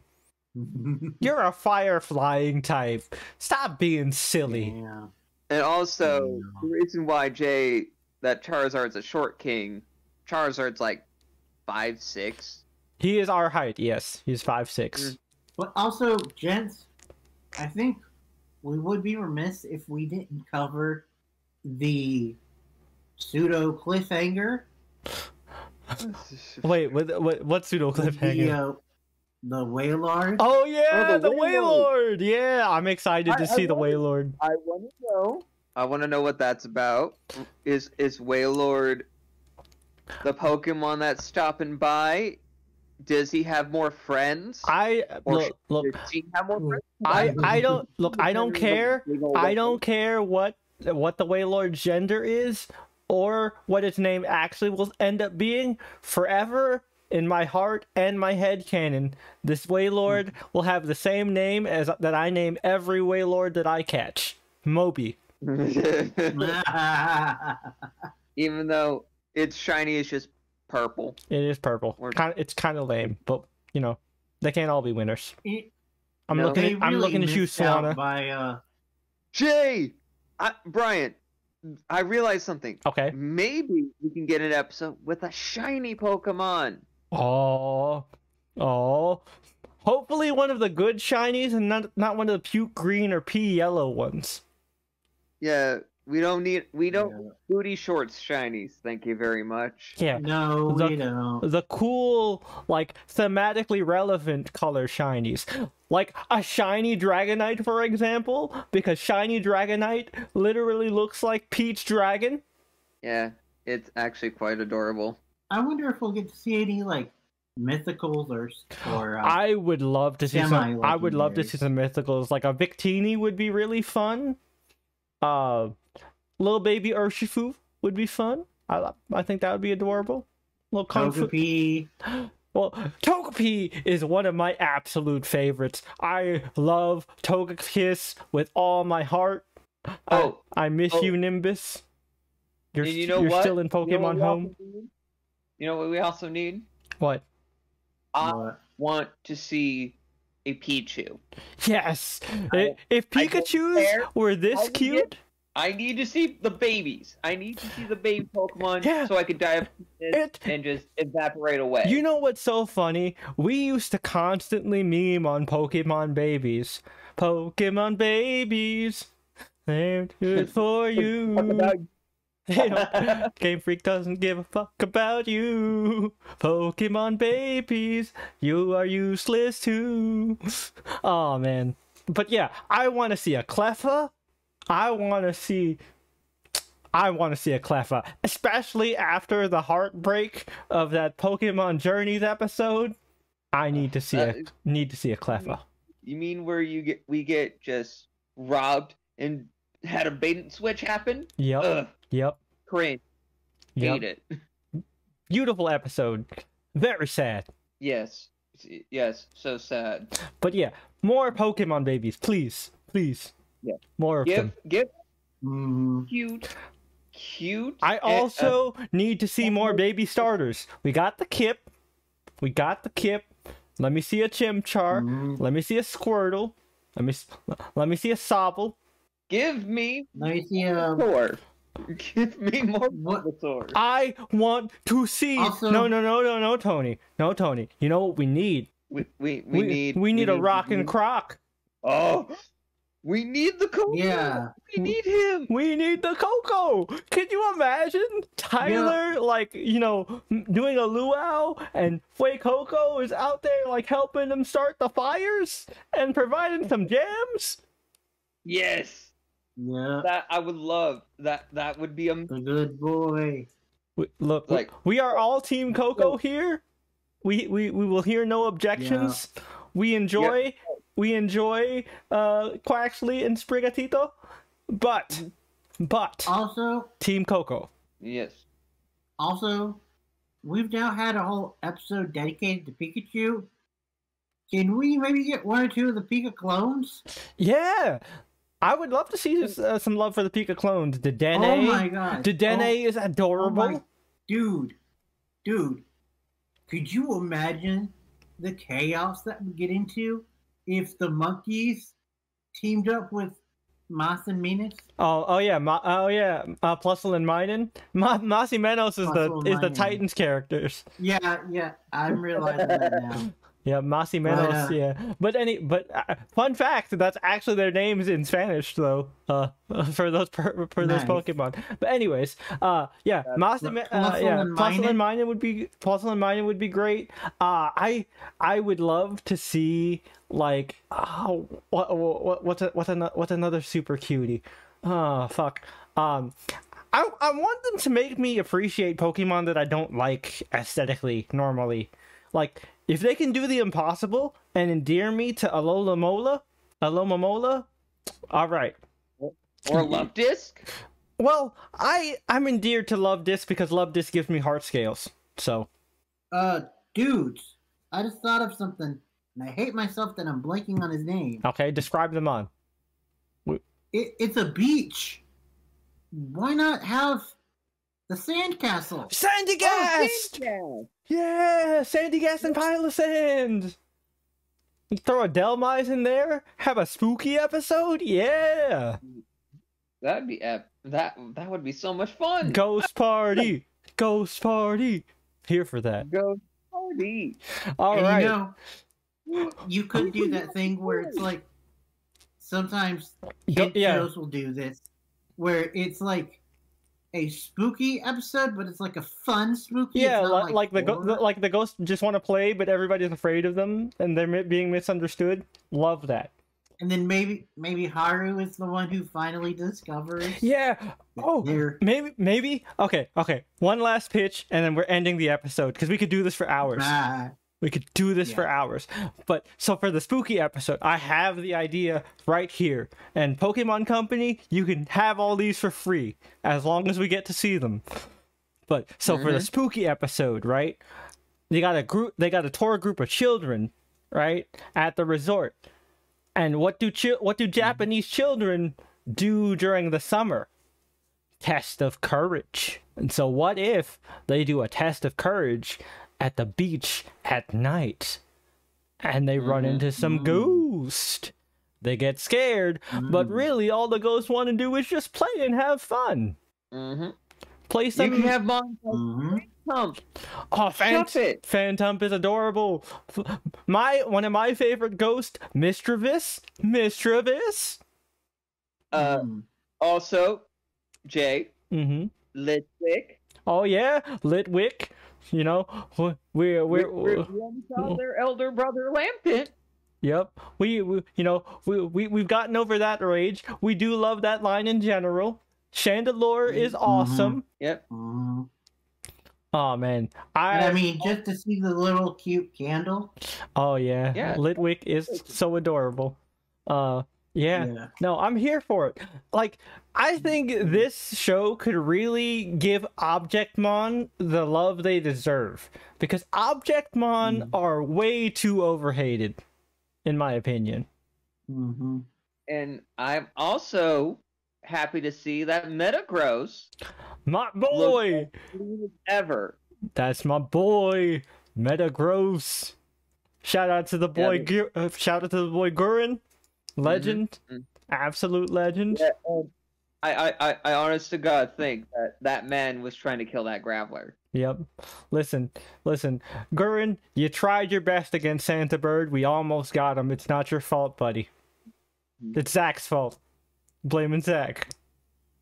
Always blame Zach. And it's Hashtag always Um, Zach. yep. Also, um, I know he's not uh not exactly quote unquote cute, but uh, I would like to see my boy Stark. Scyther. Scyther. Scyther's cute. Scyther can be cute. Scyther can be cute. But but yeah, I just call him Stark because in our home in our home game Yeah. of Pokemon, I had one, and I named him Stark because you know eventually he gets the red armor. Yeah, yeah, yeah. But hmm that guy, like that Mon, like honestly carried me a couple times. Listen, he was my he- go-to He, power. he, he was a machine. The o- the only the only other mon that could have, you know, topped like Stark in power, like besides some of like my heavy hitters, was Ku. Ku was a problem. uh Uh, Oh, Koo, yeah. Koo was our boy Trash's Heracross. You guys remember Trash from the uh, my my adventures with Superman episode? Love Trash. Yeah. gonna have him on Yeah. soon. Hopefully, we can even have him on for the sequel episode to this because please make more Netflix. But I I think uh, you can clearly tell this is a ten out of ten for me. We're gonna start off the year strong because I loved this. For me, 11 out of 10. It's Mm. only not an eleven because I didn't see more than one Eevee. Uh, and I hate to say it, but Come on, I Brian. think Get it out, bud. well, I think for me though, just close. Nine point five. Acceptable. Acceptable. It's just because it's gone too soon, and I realize that that type of animation probably takes a lot. Yep. It does. I'm aware of it. But it's just, it was so quick and so done with that I don't think I could just give it the full ten. But Yeah, no, I feel you. Uh, I think for, I, I I don't want to speak for Tony, but like, correct me if this is not how you feel. But personally, the reason I gave it a ten was even though it was so short, it sticks with it stuck with me, and it's still sticking. You know, uh, like I- one I- of one, I one- hear yeah, one of the problems that we've had with other shows from last season slash last year, uh, or particular movies, uh, was that they were all right, but they were forgettable as hell. Monkey King, Mm. I'm looking at you. God. God. yeah, which I mean, was yeah. so forgettable. We even forgot that we reviewed it. Oh shit! We didn't talk about it in the year wrap up last week. Well, it wouldn't have made our top anything. I mean, That's fair. even even Heart of Stone, which was arguably a good movie, didn't make the top. That's fair. Heart of Stone wasn't forgettable. I remember Heart of Stone. It had a lot of cool concepts. And I really want that sequel. Same. But anyways, That- so those I were our, those were our scores. We're wrapping up the episode, but we're not done just yet because Brian is going to tell you what we'll be covering next, and I think personally that it's pretty fetch. No, it's not. 'cause Oh, it's not. Oh yeah, that's no, it's uh, later. That's later. My bad.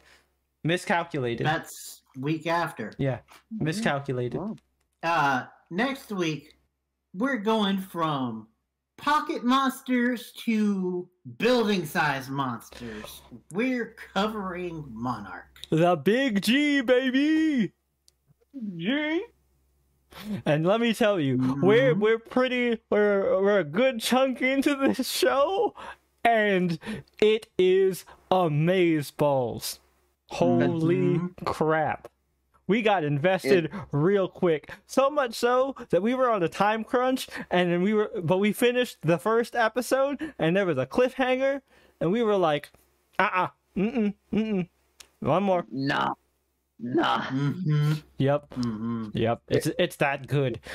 That It's th- th- this uh, next week's episode is going to be a chunker. It's going to be kaiju sized. I apologize in advance, future editing Brian. And I apologize ahead of time to future editing Brian as well. All right. What with that? Uh, this has Right. been an episode of the Channel Chasers podcast. I think it's time for us to return. Bye.